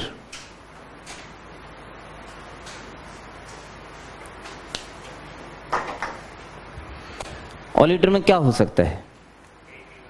A t one square comma two a t one. कुछ लोगों ने बोला कि यार तुम पैरामीटर पैरामीटर चिल्लाते रहते हो। तो तुम इसे पैरामीट्रिक से सॉल्व करके क्यों नहीं दिखा रहे? हमने बोला, कर लो यार, ये तो और भी आसान है। ये तो हमेशा आसान है। A t one square comma two a t one इसके कोऑर्डिनेट अगर मान लिए जाए, और a t two square comma two a t two अगर इसके कोऑर्डिनेट मान लिए जाए।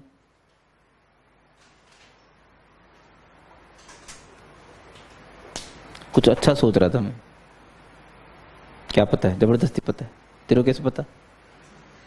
हाँ पता है। बेकार में। बिना मन तो कुछ पता होता है ना, पता पता है। सोच तो रहा हूँ यार। मगर मैं बहुत खुश हुआ। लो, देखो तो। हाँ सुनो P t one Q t two मान लिया। तो डिस्टेंस फॉर्मूला लगाऊँगा अगर पी क्यू में। पी क्यू में यदि मैं डिस्टेंस फॉर्मूला लगाता हूँ रूट अंडर तो x one minus x two का होल स्क्वायर और इसका भी होल स्क्वायर करना ही पड़ेगा मतलब ऐसा। Seriously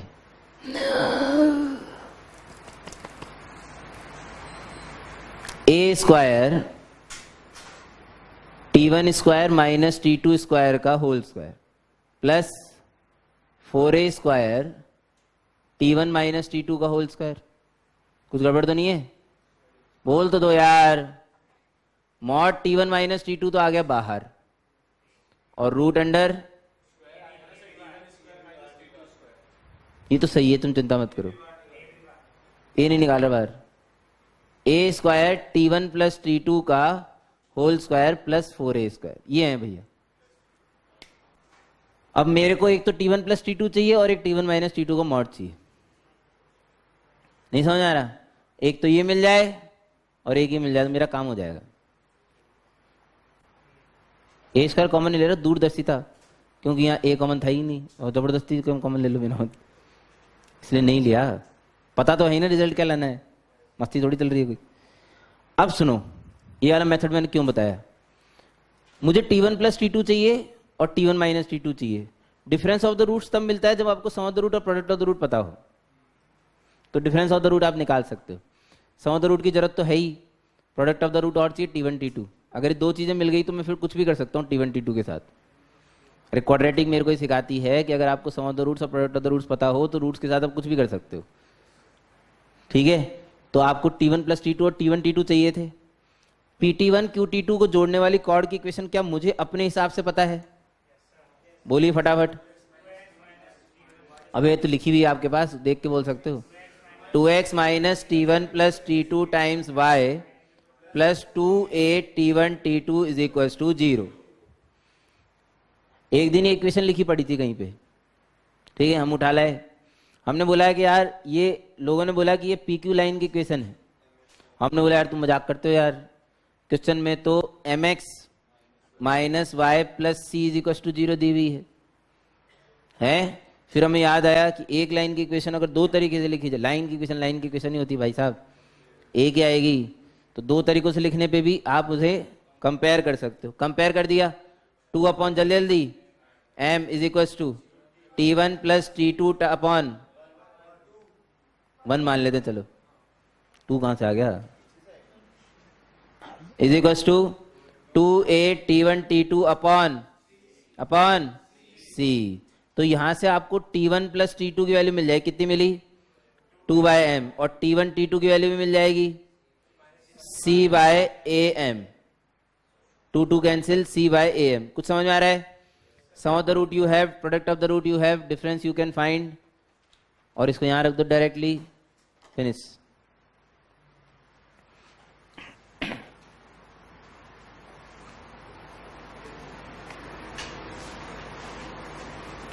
ए बाहर निकाल लेना चाहिए था वैसे।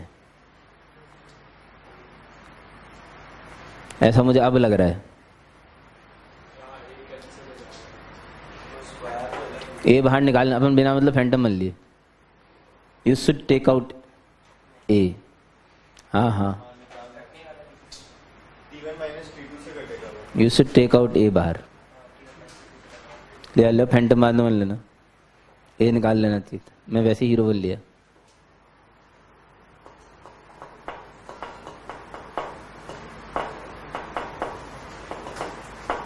सम आ गया प्रोडक्ट आ गया तो डिफरेंस कैसे आता है मुझे पता नहीं है, इसलिए मैं आगे कर नहीं रहा हूँ। मेरी शकल घूरने का कोई फ़ायदा नहीं है। रेफर क्वाड्रेटिक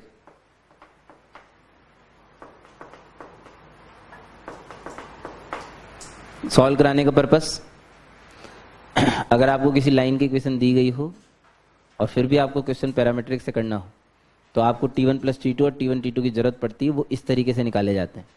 किसी भी और क्वेश्चन में। कोई भी क्वेश्चन पर्टिकुलरली जब सॉल्व कराया जाता है क्लास के अंदर तो सिर्फ़ उसी क्वेश्चन के सॉल्यूशन के लिए नहीं कराया जाता। अगर आपको कभी किसी दूसरे क्वेश्चन में t one plus t two और टी वन टी टू की आवश्यकता पड़े तो आप इस तरीके से निकाल सकते हैं। हालाँकि t one plus t two तो मैं वैसे भी बहुत आराम से निकाल सकता था, क्योंकि इस कॉर्ड का slope two upon t one plus t two होता है। अभी तो आपका स्टेडियम बंद बंद करवाया भाई। इस कॉर्ड का slope two upon t one plus t two होता है, जबकि ये कह रहा है एम है। तो t one plus t two के लिए तो टू बाई एम वहाँ से भी आ जाती। लेकिन टी वन टी टू के लिए चूँकि मेहनत करनी पड़ती है इसलिए मैंने पूरी मेहनत एक तरीके से, एक तरीके से करवा दी। वो टी वन टी टू तो आपको कहीं ना कहीं से लाना ही पड़ेगा ना भाई। T one plus t two से काम थोड़ी चला लोगे। इसलिए मैंने कंपेयर करके दोनों चीज़ें एक साथ निकलवाई है। क्लियर है? ठीक है। जब ये ऐसे रैंडम कॉर्ड की इक्वेशन आ गई मेरे पास रैंडम ये रैंडम कॉर्ड ही तो थी। कोई भी y is m x plus थी तो फिर तो मन ललचाया? साला, अब तो फोकल कॉर्ड के लिए भी कर सकते हैं। हैं? ये स्टैंडर्ड रिज़ल्ट को रटने वटने का रिज़ल्ट नहीं है। इसको मैंने बॉक्स बंद भी नहीं करा है। ये कोई रटने का रिज़ल्ट नहीं है। इसका रटने से दूर दूर तक कोई रिश्ता नहीं है। इसका जो मेथड है ना, ये तो ये वाली चीज़। ये वाली स्टेप ये इंपॉर्टेंट है। इसमें x one minus x two और y one minus y two दोनों को अलग अलग रखने की ज़रूरत नहीं है, उसे आप रिड्यूस कर सकते हो, एक में। ये मैनिपुलेशन इंपॉर्टेंट है, और दूसरा ये t one plus t two और टी वन टी टू की वैल्यू जैसे हम लेके आए ना, ये मैनिपुलेशन इंपॉर्टेंट है, और सिर्फ़ इसी की वजह से क्वेश्चन कराया गया है। इस रिज़ल्ट विजल्ट में मेरा कोई इंटरेस्ट नहीं है, ना रटना है। ऐसे तो मर जाएँगे, फिर तो रिज़ल्ट रटते रहे तो। काफ़ी अच्छे, खूबसूरत रिज़ल्ट हैं जिन्हें रटने की ज़रूरत है। अभी तक बताई गई चीज़ों के अंदर रटने वाली चीज़ें two upon T one plus T two T one T two is equals to constant which is equals to minus C by A और एक फोकल कॉर्ड के एक्सट्रीमिटीज के कोऑर्डिनेट ए टी को मतलब एक का पैरामीटर टी तो दूसरे का पैरामीटर, उनका नेगेटिव रेसिप्रोकल यानी कि माइनस वन बाई टी अब तक बताई गई चीज़ों में से सिर्फ़ इन्हीं चीज़ों को रटने की आवश्यकता है, यानी कि तीन। ठीक है? हाँ डायरेक्ट्रिक्स डायरेक्टर सर्कल होता है। अच्छा वो लाइन एंड पैराबोला भी हो गया ना। अच्छा सुनो। हैश टैग वापस बोल। हाँ। सवासी तो हमारे प्यारे ड्राइविंग लाइसेंस ने एक बात बोली कि ये मास्टर ये जो तो t one plus t two और टी वन टी टू निकाल रहा है, ये तो क्वाड्रेटिक बना के भी निकाल सकता था। बात तो सही है। Y इज़ इक्वस टू ये मैं थोड़ी देर बाद में बताता वैसे बट ठीक है, यहीं पे कर लेते हैं। अगर कोई लाइन किसी पैराबोला को कट कर रही है। यदि कोई लाइन किसी पैराबोला को कट कर रही है तो आप उस लाइन और उस पैराबोला को सॉल्व कर सकते हैं। तभी तो इसके पैरामेट्रिक आएँगे। इसे कहते हैं पैरामेट्रिकली सॉल्व करना। तो क्या दो तरीकों से पैरामेट्रिक सॉल्व होते हैं? एक तो लाइन की पैरामेट्रिक इक्वेशन के साथ पैराबोला सॉल्व करा जाए, जो अभी हम नेक्स्ट क्वेश्चन में करने वाले हैं। दूसरा, एक पैराबोला के पैरामेट्रिक कोऑर्डिनेट को लाइन के साथ सॉल्व करें। बेसिकली आपको दोनों के दोनों को पैरामेट्रिकली लिखना आता है। लाइन का पैरामेट्रिक अपन लाइन में सीख चुके हैं। पैराबोला का parametric a t square comma two a t होता है। तो इस पैराबोला के साथ सॉल्व करने के दो तरीके एक तो एल्जेब्रिक वे जो ये वाला सॉल्व किया हमने, ये क्वाइटिक बनी। एक होता है पैरामेट्रिक वे क्या मुझे पैराबोला के पैरामेट्रिक कोऑर्डिनेट पता है?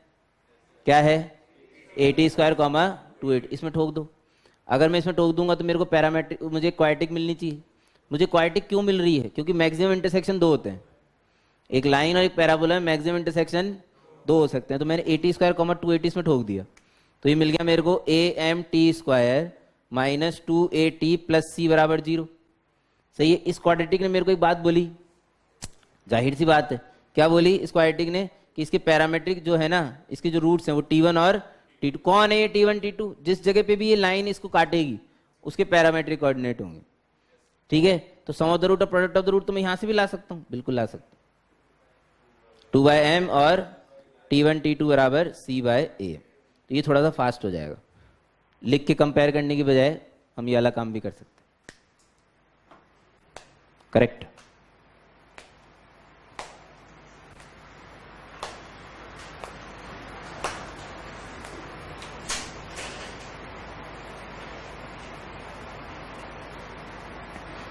ये वैसे मैं कॉर्ड ऑफ़ कॉन्टेक्ट वाले टाइम पे बताता लेकिन ठीक है।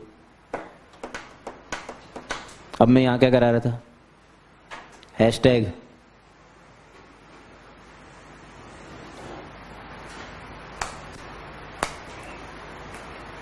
length of the focal chord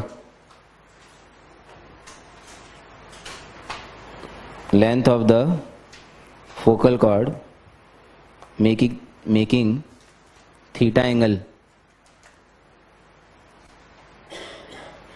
length of the focal chord making theta angle with the axis of y square is equals to 4ax is 4a cosec square theta.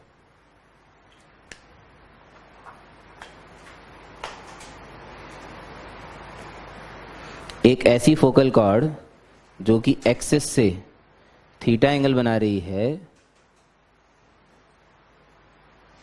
कि जो length है, मेरे पे तो प्रिविलेज है ना भाई। मैं तो यूज़ करूँ कम से कम। इसको फोकल कॉर्ड तो मैं किसी भी दिन बना सकता हूँ। ये देखो, ये बन गई। खिचैक्स ये फोकल कॉर्ड बन गई यार।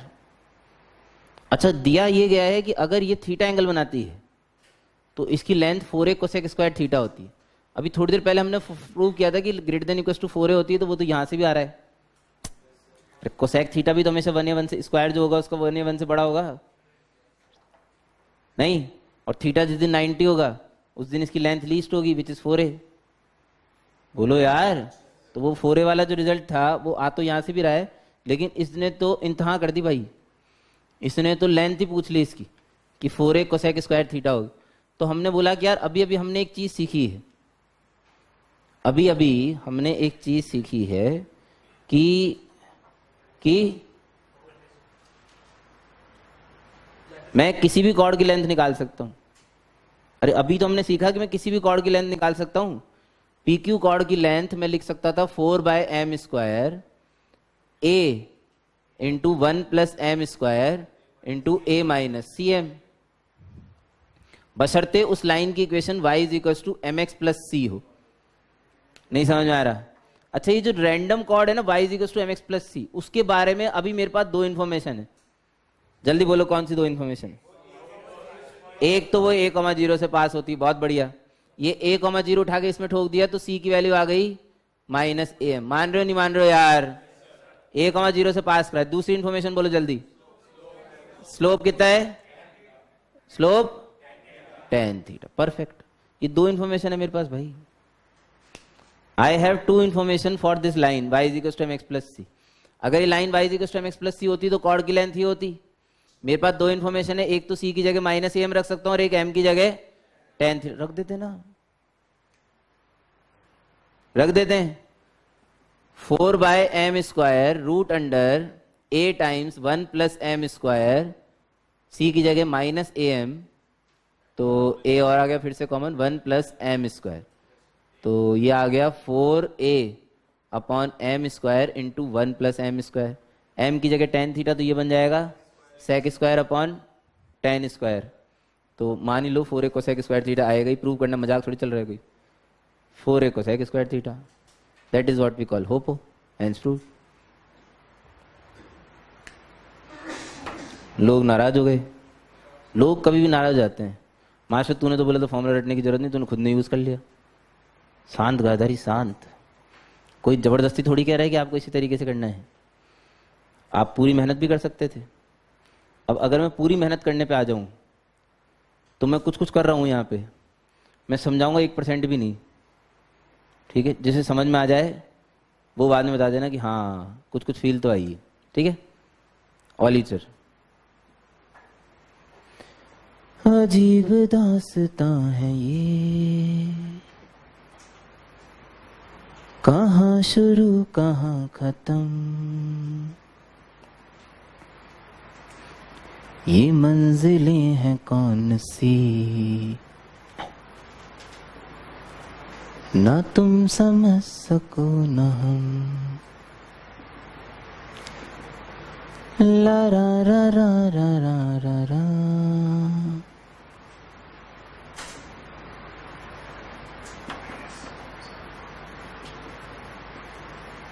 हाँ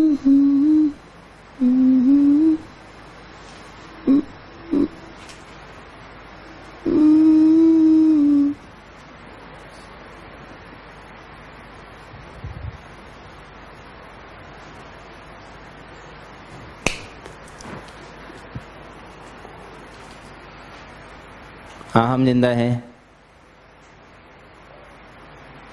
इतने लोग ज़िंदा हैं? छमाया तो नहीं पड़ गई? बावली औरत, ये क्या है? किसका स्लोप? है? पीक्यू का, कैसे? पीक्यू का स्लोप कैसे है ये? ये टेन थीटा नहीं पूछ रहा मैं, गुलाब चंद, ये कैसे है? टेन थीटा तो पीक्यू का स्लोप है ही। ये पीक्यू का स्लोप कैसे हुआ? नहीं पता? Two upon t one plus t two बताया था अभी।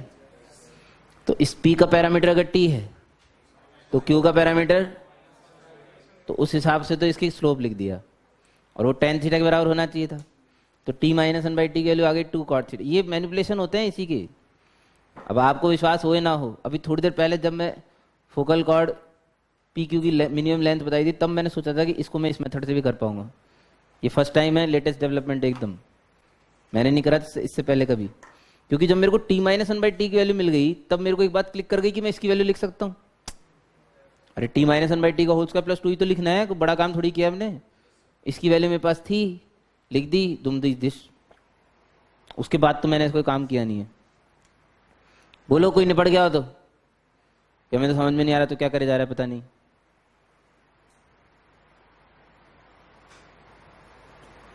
ठीक है। अभी थोड़ी देर पहले हमने एक काम किया था। क्या काम किया था? हमने जब मुझे y ji to m x plus c की लाइन की इक्वेशन पता थी ना तो इस पैराबोला के पैरामेट्रिक कोऑर्डिनेट के साथ इसे सॉल्व किया। A t square comma two a t रख के। उससे मेरे को टी की क्वाड्रेटिक मिली। ठीक है? उसे बोलते हैं पैराबोला को पैरामेट्रिकली सॉल्व करना लाइन के साथ। मैं लाइन को भी पैरामेट्रिकली सॉल्व कर सकता हूँ पैराबोला के साथ, बशर्ते लाइन के पैरामेट्रिक इक्वेशन मेरे पास हो। तो लाइन की पैरामेट्रिक इक्वेशन तो मैं लिख सकता हूँ। है? ए के टी के this is actually very very very beautiful very beautiful मैंने थोड़ी देर के लिए अपने से मान लिया कि सत्यप्रकाश जो है वो आर वन है। एस क्यू पता नहीं कौन है।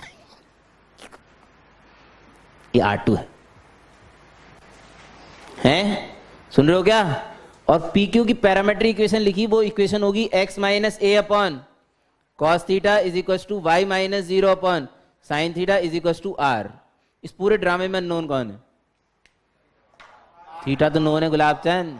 R if I use R is equal to R one I get the coordinate of P if I use R is equal to R two I get the coordinate of if I put R is equal to R I will get any random point on this line. है? नहीं समझ में आ रहा।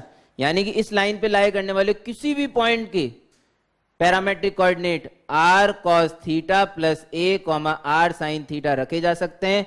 And if I try to solve this is Y Y square is equal to four A X I should definitely get a quadratic in R जिसके पास जो roots हैं वो आर वन और आर टू हैं। क्यों? क्योंकि पी और क्यू इंटरसेक्शन पॉइंट है यार। इसे उल्टा करना कहते हैं। This is what we call उल्टा करना। मुझे पहले से पता था पी और क्यू पॉइंट ऑफ़ इंटरसेक्शन है। मैं उनकी डिस्टेंस आर वन और आर टू मान चुका था। अभी आएँगे कैसे? जब इस लाइन को पैरामेट्रिकली सॉल्व करूँगा पैराबोला के साथ। तो आर की दो वैल्यूज़ आएँगी। एक वैल्यू पंजाब की करस्पॉन्डिंग आएगी और एक वैल्यू इन्हीं को इंटरसेक्शन पॉइंट कहते हैं भाई। हमने थोड़ी देर पहले पैराबोला को सॉल्व किया था पैरामेट्रिकली लाइन के साथ। तो उसमें A T square comma two AT फिर से क्वाड्रेटिक बनी थी तो टी की दो वैल्यूज़ आएँगी। वो टी की दो वैल्यूज़ किसके करस्पॉन्ड अरे इंटरसेक्शन पॉइंट की करस्पॉन्डिंग आएगी और किसके करस्पॉन्डिंग आएगी भाई? इंटरसेक्शन पॉइंट की करस्पॉन्डिंग तो आएगी ही। नहीं समझ रहे? हैं? अब मेरी बात सुनिए। जब मैं इसे इसमें सॉल्व करूँगा तो आर की क्वाड्रेटिक बनेगी। अब मैंने कह दिया मानना पड़ेगा। आर की क्वाड्रेटिक बनी। उसके रूट आर वन और आर टू मेरा एक परसेंट इंटरेस्ट नहीं है रूट्स में। क्यों? क्योंकि मेरे को तो पी क्यू लेंथ से मतलब है। मैं मुझे रूट से क्या लेने देना? मुझे किसमें इंटरेस्ट है? पी क्यू लेंथ में। सही है? वो किससे आ जाएगा? वो किससे आ जाएगा? समाओ तो रूट से तो पूरी दुनिया लिख के आएगी गेल से पाऊ R one plus R two तो आंधे को भी दिख जाता है कि R one plus R two P Q है। लेकिन R one plus R two P Q थोड़ी है। पी क्यू कौन है? Mod R one minus R two P Q कौन है? Mod R one minus R two क्यों? क्योंकि आर वन और आर टू में से कोई एक तो नेगेटिव है, पक्का। क्यों? क्योंकि वो सूरत के अपोजिट साइड है। सेम साइड तो काट ही नहीं सकते। अरे। सेम साइड थोड़ी काट दी कॉर्ड कभी फोकल कॉर्ड फोकल कॉर्ड तो हमेशा सूरत के opposite side काटेगी।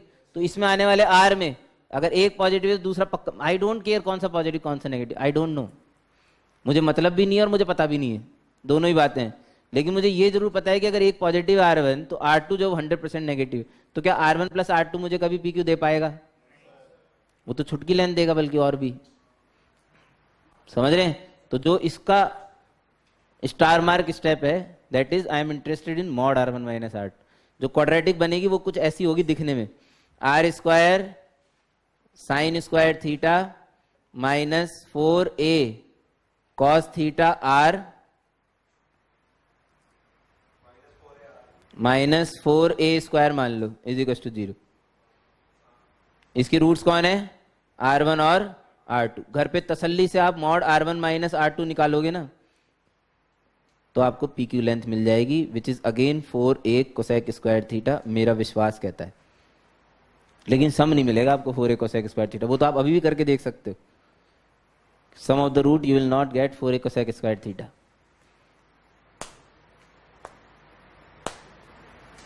difference of the root निकालोगे। Root D by mod a you'll get the correct answer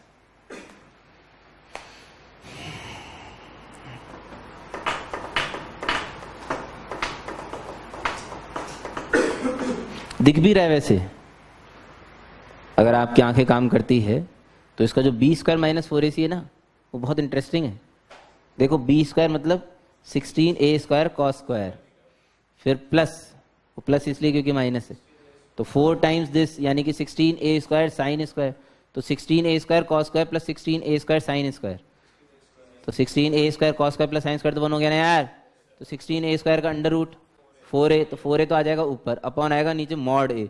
तो मॉड ए में लिखोगे आप साइन स्क्वायर तो मॉड तो वैसे हट जाएगा भगवान की दया से। अरे यार साइन तो कोसेक स्क्वायर आगे देखो। वैसे भी दिख रहा है इसमें तो अच्छी कैलकुलेशन है इसलिए। चमकती नहीं चमकती भाई मेरी बात है तुम लोग पता नहीं कैसे अजीब गरीब एक्सप्रेशन देते हो। अभी मरे पड़े कई लोग। ज़िंदा है सब? घर पे जाके रटोगे, बटोगे तो कुछ बात सेट होगी, नहीं तो मज़ा नहीं आएगा फिर। ये तो रटने का नहीं है, खैर, ये तो समझने का है। Mod R one minus R two खैर, चलिए। जब फोकल कॉर्ड की लेंथ आ गई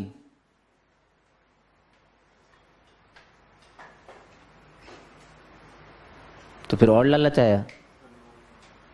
ज़्यादा लालच हो गया लेकिन अब। ज़्यादा लालच हो जाएगा। सभी मैं बता दूँगा तो फिर तो गड़बड़ हो जाएगा। ठीक है आगे बढ़ते हैं।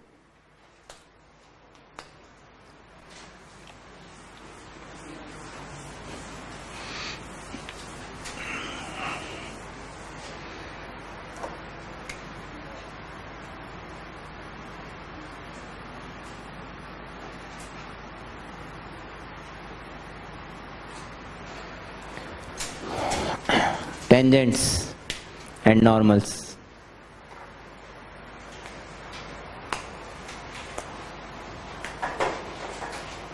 बात है राइटिंग अच्छी हो गई आपके आज पहले भी अच्छी थी। बात मुझे भी समझ में आ रही। बुरा मान गए थे। तुम पड़ोसन को ऐसा क्या बोलती हो जो एक दिन ही टिक पाती है, ये तो बताओ मेरे को। है? एक दिन ज़्यादा तुम्हारे पड़ोस, किसी दिन गलती से आते बेचारी डरती डरती? फिर ये कुछ बोल देती, फिर गायब। है? कुछ तो बोलती होगी तुम तो कुछ नहीं बोलती, फिर इसलिए नहीं आती तो? है? बोल लिया करो बेचारी को यार, कितनी मुश्किल से लाता हूँ, पता तुम्हें? समझा बुझा के। फिर तुम भेज देती हो tangents equation of tangent in various forms. First वही अपनी पसंदीदा। दैट इज़ कार्टिजियन फॉर्म वही मेरा प्यारा प्यारा parabola Y square is equal to four A X जिसे हम लोग एस नाम देने वाले हैं। वही हमारा point P X one comma Y one इसके किसी point P X one Y one पे यदि मुझे टेंजेंट की इक्वेशन निकालनी है, किसकी? टेंजेंट की।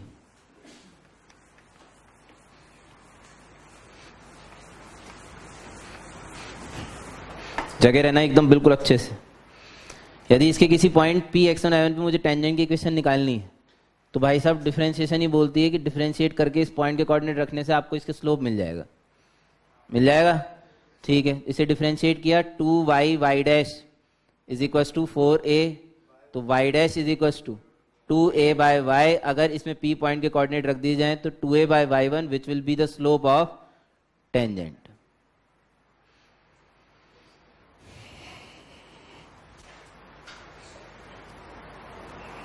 सही है?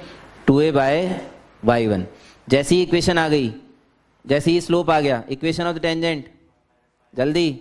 Y minus Y one is equal to two A by Y one into X minus X one Y Y one Y Y one minus Y one square Y one square is equal to four A X one is equal to two A X minus X one ये बन गया Y Y one is equal to two A times X plus X थोड़ी देर हमने तसल्ली से इसे देखा तो हमें पता पड़ा, अरे, ये तो टी बराबर ज़ीरो है भाई। ये तो क्या है? टी बराबर ज़ीरो जो कि किसी भी सेकंड डिग्री इक्वेशन किसी भी सेकंड डिग्री कर्व की इक्वेशन पे डायरेक्टली निकाला जा सकता है वाई स्क्वायर को वाई वाई वन और टू एक्स को एक्स प्लस एक्स वन वही तो लिखा है। तो मेरे को ये सब सड़ापा याद रखने की ज़रूरत नहीं है। टी बराबर zero will be a working formula for me equation of tangent तो मैं टी बराबर ज़ीरो से निकाल लूँगा। ठीक है साहब।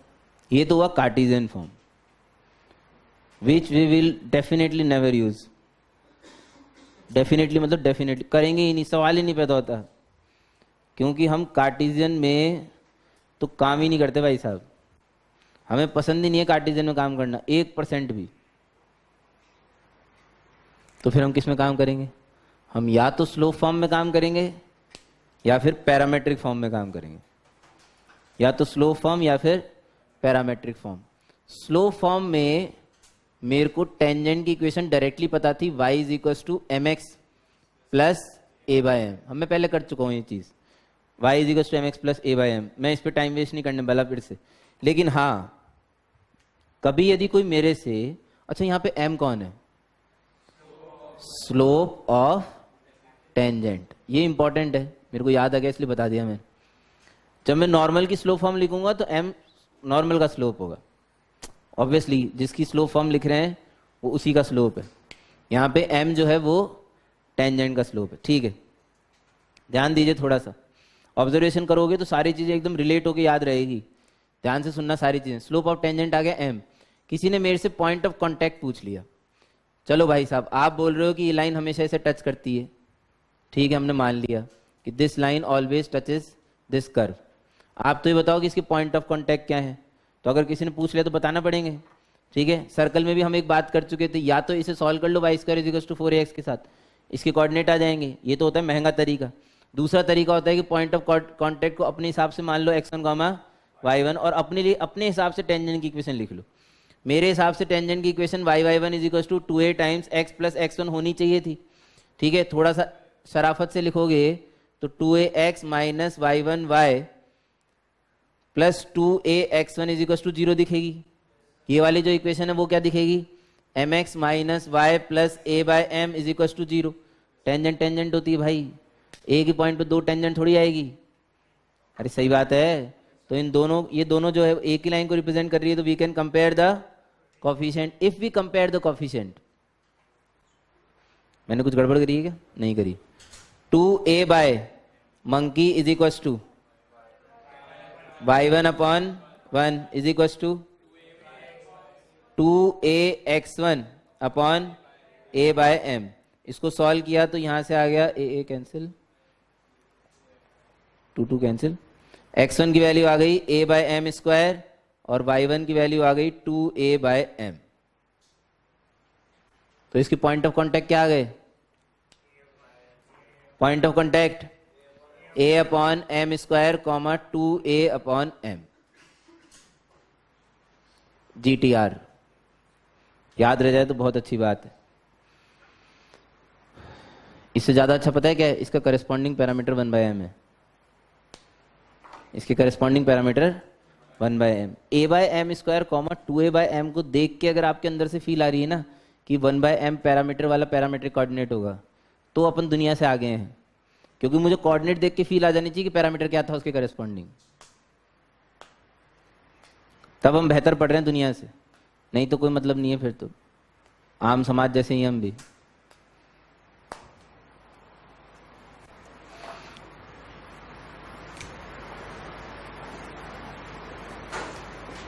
लास्ट इज़ पैरामेट्रिक फॉर्म हाँ ऑब्वियसली इसमें मेरे पास कुछ नया नहीं है सीखने के लिए। लेकिन कुछ तो नया सीखेंगे ही। पी के कोऑर्डिनेट क्या होंगे पैरामेट्रिक फॉर्म में? A T square comma two AT slope of tangent देखो ध्यान से। Slope of tangent is two A by Y one two A by Y one Y one की जगह कौन है? Two AT. भीषण एसटीडी। ये तो सुबह, शाम, रात, हर समय जाप करते रहना है। किसी पॉइंट पीटी पे बनाई गई, किसी पॉइंट पीटी पीटी बोले तो टी इज़ द पैरामीटर। किसी पॉइंट पीटी पे बनाई गई टेंजेंट का स्लोप वन बाय टी होता है।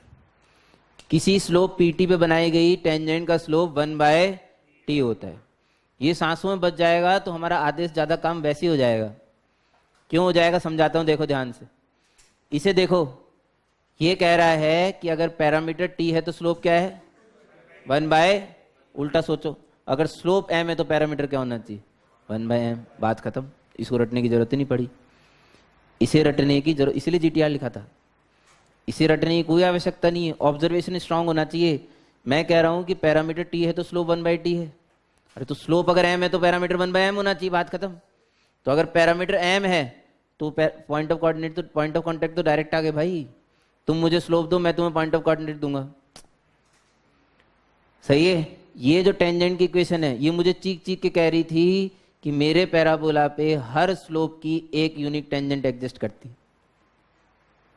सर्कल के केस में slope form y to m x plus minus a under one plus m square आई थी, जो कहती थी कि हर स्लोप की दो टेंजेंट एग्जिस्ट करती पैराबोला के केस में हर स्लोप की सिर्फ़ एक ही, पहली बात हर स्लोप की टेंजेंट एग्जिस्ट करेगी, ज़ीरो को छोड़ के,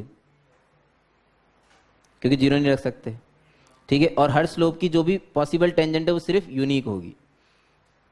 दो बातें इस वाली इक्वेशन को देख के मैं कह सकता हूँ। सही बात है?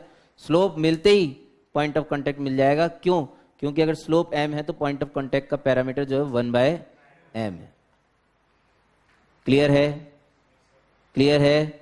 अगर इन दोनों चीज़ों को ऑब्ज़र्व करोगे तो आपको पॉइंट ऑफ़ कांटेक्ट याद रखने की ज़रूरत नहीं पड़ेगी, क्योंकि मुझे पता है पैरामीटर और स्लोप में क्या रिश्ता है।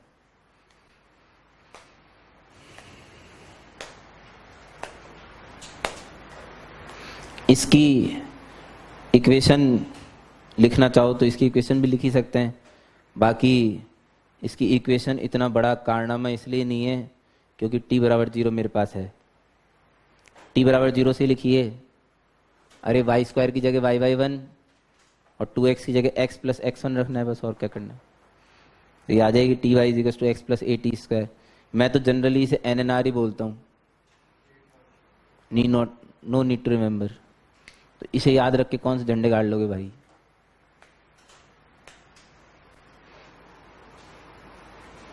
ये याद होनी चाहिए y equals to m x plus a by m yes इसका पॉइंट ऑफ़ कॉन्टेक्ट याद रखने की ज़रूरत नहीं है। क्यों? क्योंकि स्लोप और पैरामीटर में रिश्ता पता है। अलग अलग चीज़ें याद रखो ना। उसका एक उसका एक, इसका कुछ भी नहीं। इसका टी बराबर ज़ीरो इसका तो कार्टिजन फॉर्म का तो टी बराबर ज़ीरो पता होना चाहिए बस।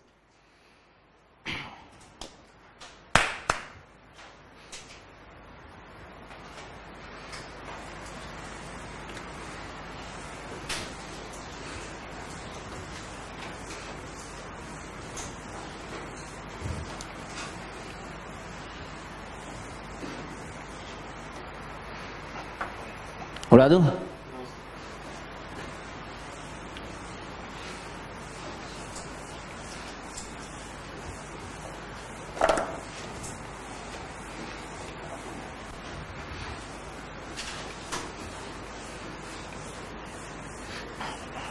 चलो एक क्वेश्चन करते हैं। Find c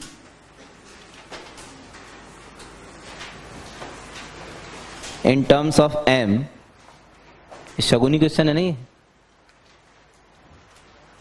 सगुनी क्वेश्चन इलेवेंथ पे। Find a c in terms of m such that y is equals to mx plus c touches y is equals to x square plus one simple कुछ चुनो, इससे हलवा कुछ नहीं हो सकता। तरीके बताओ जल्दी से। फटाफट। तरीके तरीके तरीके, हाथ ऊपर हो जाने चाहिए थे भाई अब तक तो। हाँ। इतना सोचना क्यों पड़ रहा है भाई? टेंजेंट बनाने के लिए तो सोचना ही नहीं है। इन दोनों को सॉल्व करो। ये क्वाड्रेटिक तो बनी पड़ी है। दिख रही है मेरे को तो x square minus m x m x plus one minus c is equal to zero उसका डी ज़ीरो कर दो सी के वैल्यू एम की टर्म में आ ही जाएगी मतलब। तो क्वेश्चन बनाया है तो किसी ने? तो मैंने तो अपने आप से बनाया, अभी पता नहीं आएगी भी नहीं आएगी। लेकिन मैं वैसे नहीं कर रहा।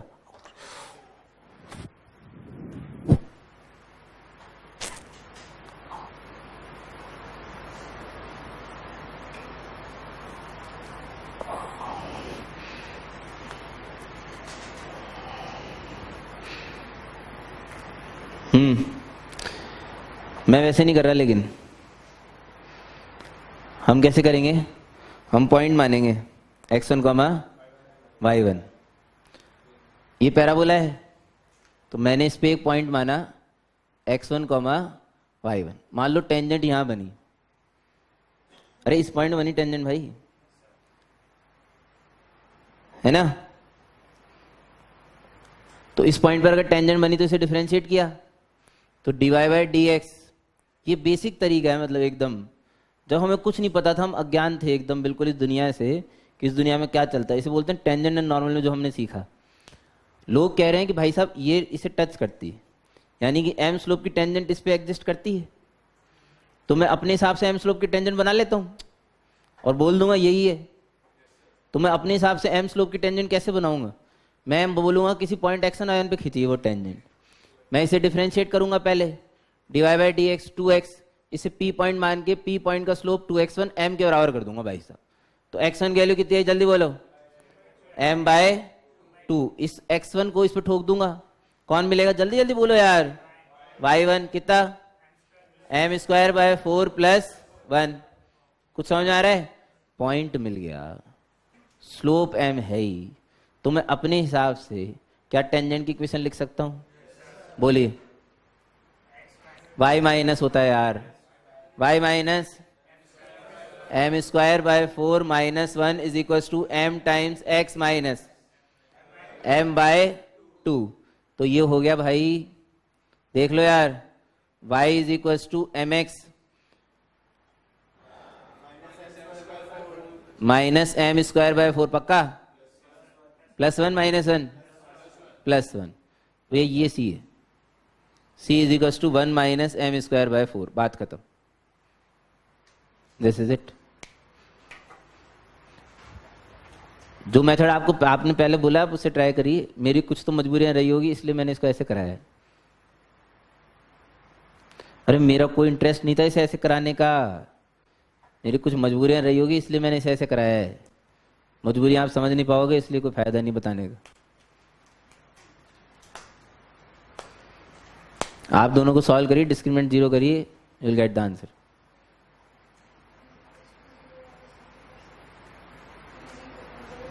हाँ हाँ बिल्कुल कर सकते हैं। इस पी एक्स वन वाई मान के इसकी टी इजिकस टू ज़ीरो से इक्वेशन लिखिए, उससे कंपेयर करिए। आपको एक्स वन वाई वन की वैल्यू मिलेगी। उस एक्स वन वाई वन की वैल्यू को फिर से इसमें ठोक दीजिए। तो आपको सी और एम में कंडीशन मिल जाएगी। वो और थोड़ा सा बेहतर तरीका है। डी इजिकस टू ज़ीरो तो है ही।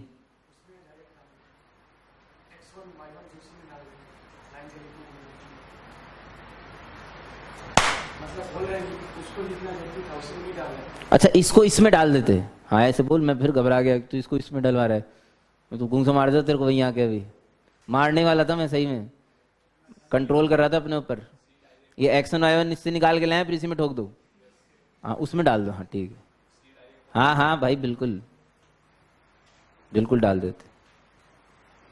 अरे, ये एक्शन वन जो निकाले हैं, इसको इसमें डालने से भी सी मिल जाएगा बिल्कुल मिलेगा। बढ़े आगे। नेक्स्ट उड़ रहा है उड़ना ही पड़ेगा नॉर्मल सी है।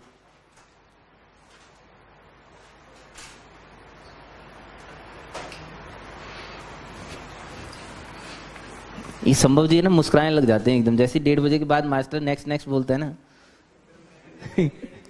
संभव जी की जहरीली मुस्कान छूटने लग जाती है। पता पता नहीं क्या हो जाता है इन्हें।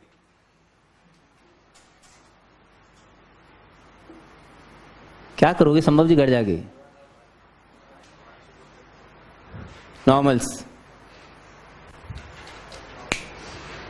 equation of normal in various forms first is again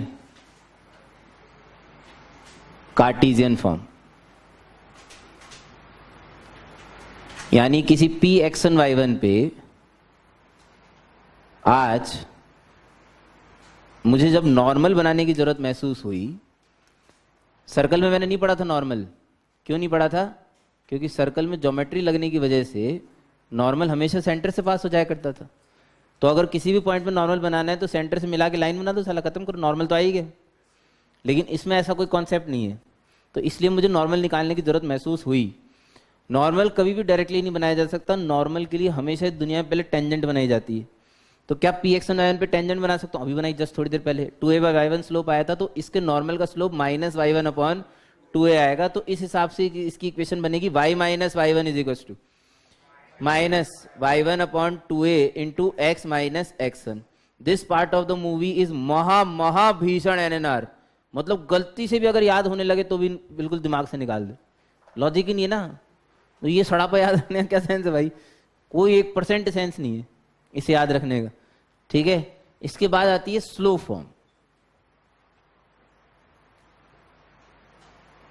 this is life of the parabola actually life of the parabola ठीक है? हम लेकिन इसे बहुत आराम से ला पाएँगे। बहुत आराम से। अभी जो चीज़ सीखी हमने, वो इसी वजह से सीखी थी। अभी जस्ट जो चीज़ हमने सीखी। Let slope of the normal is m मान लीजिए मुझे एम स्लोप का नॉर्मल लिखना है। इस नॉर्मल का स्लोप एम है। हम कह रहे हैं भैया minus y one by two है। तुम कह रहे हो एम है।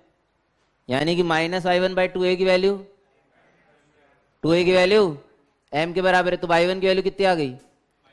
Minus two a by m मेरे पास वाई वन आ गया तो मेरे पास एक्स वन नहीं आ जाएगा क्या? मुझे पता है y one square is equal to four a x one क्या यहाँ से एक्स वन की वैल्यू आ जाएगी? जल्दी बोलो। मान लो ए एम स्क्वायर आ गई। मास्टर जी, जल्दी कैसे मान ले तूने? भैरू जी है ना हमारे पास? अगर किसी पॉइंट का y coordinate minus two m नज़र आता है तो मेरे माइंड में पहले ही प्रोसेसिंग चल जाती है कि उसका पैरामीटर माइनस एम है। उसका पैरामीटर जब मैं पैरामीटर सोच पा रहा हूँ तो एक्स कोऑर्डिनेट मुश्किल थोड़ी है भाई। ए एम स्क्वायर समझ में आई बात नहीं आई? इस पॉइंट के कोऑर्डिनेट आ गए, इसका स्लोप आ गया।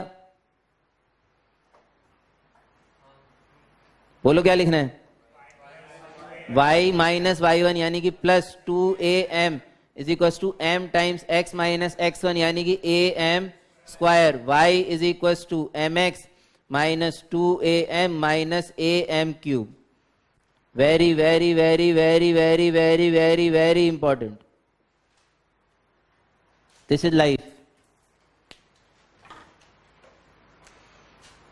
खेलना बंद करो ना उसके साथ। वो खेलते हो तभी तो ऐसा होता है तुम लोगों के साथ। खेलते रहते हो। ध्यान बोर्ड पे रहता ही नहीं है। Parametric form.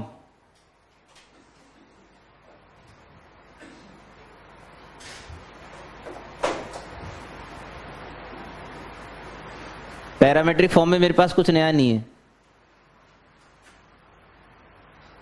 ओ, अच्छा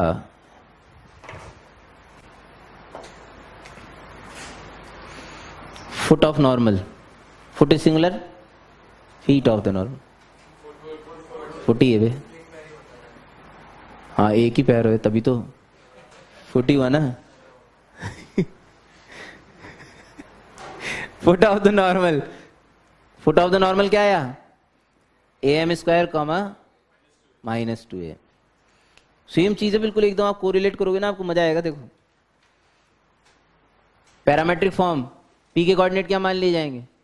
A t square comma two a t slope of the normal ये minus y one upon two a minus y one upon two a y one की जगह two a t minus t slope आ गया। Point पहले से पता था। अरे यार, आपके पास पॉइंट है, एक बात बताओ। और आपके पास स्लोप आ गया। तो इक्वेशन आपके लिए बहुत मुश्किल थोड़ी है ये बन गई y plus t x is equal to two a t plus a t cube इसमें और इसमें रिश्ते। M is to minus t या t is to minus m m की जगह माइनस टी रख दो, ये बन जाएगा। टी की जगह माइनस एम रख दो, ये बन जाएगा। ये t is equal to minus m के रिश्ते कहाँ से आए? टेंजेंट में हमने देखा था, सुनो। पैरामीटर टी है। तो स्लोप टेंजेंट का वन बाई टी है। अगर किसी पॉइंट पे खींची गई टेंजेंट का स्लोप वन बाई टी है तो नॉर्मल का माइनस टी होगा। आया है। अरे आएगा भैया, हर चीज़ आएगी।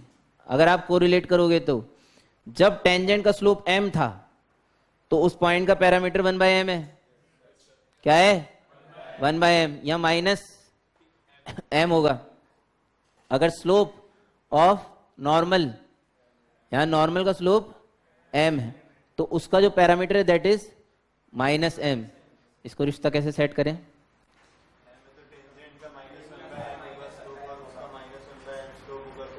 हाँ ऐसे सेट करो, सही है। कुछ तो बोला इसने, क्या वापस बोल? अच्छा ये कह रहे हैं कि अगर नॉर्मल का स्लोप एम है तो इस पॉइंट पे टेंजेंट का slope minus one by m होगा। और अगर टेंजेंट का slope minus one by m है तो उसके करस्पॉन्डिंग पैरामीटर माइनस एम उसका रेसिप्रोकल सीधा सीधा फुट ऑफ़ द नॉर्मल इन चार पाँच चीज़ों को अगर आपने कोरिलेट कर लिया तो आपको सिर्फ़ एक चीज़ याद रखने की ज़रूरत है पीटी पे खींची गई टेंजेंट का स्लोप वन बाई टी होता है। बाकी सब इंटर रिलेटेड है। और ये नॉर्मल फॉर्म जो है, ये तो सांस में बसी होनी चाहिए, इसका कभी मैं यूज़ नहीं करता, क्योंकि ये सेम है। ये सेम है। टी की जगह माइनस एम या एम की जगह माइनस टी रखो इंटरचेंजेबल मेरा काम इससे हो जाता है।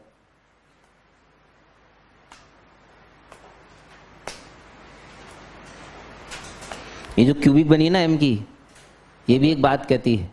पैराबोला में किसी एक यूनिक पॉइंट से मतलब किसी एक पॉइंट से मैक्सिमम तीन नॉर्मल खींच सकते हो, लेकिन एक तो खींचोगे ही खींचोगे, क्यों? क्योंकि क्यूबिक का एक रूट तो रियल हमेशा आएगा। यानी कि दुनिया में किसी भी पॉइंट से इस पैराबोला के लिए एक नॉर्मल तो खींचा ही जा सकता है मैक्सिमम तीन खींच सकते हो। नहीं समझ में आ रहा? Max three normals can be drawn क्यों? क्यों क्यूबिक आई ना भाई। टेंजेंट के केस में क्वाड्रेटिक आई थी। Y m x plus a by m tangent के केस में क्वाड्रेटिक मिली थी जो बोलती है किसी भी पॉइंट से मैक्स दो टेंजेंट खींच सकते हैं, वो हमें समझ में भी आता है जोमेट्रिकली ठीक है? बट इसमें मैथमेटिकली निकल के आया। क्यूबिक आने का मतलब ये है कि किसी भी पॉइंट से मैक्स तीन नॉर्मल और मिनिमम एक नॉर्मल तो खींचेगा ही खींचेगा, क्योंकि क्यूबिक का एक रूट रियल होना कंपलसरी है।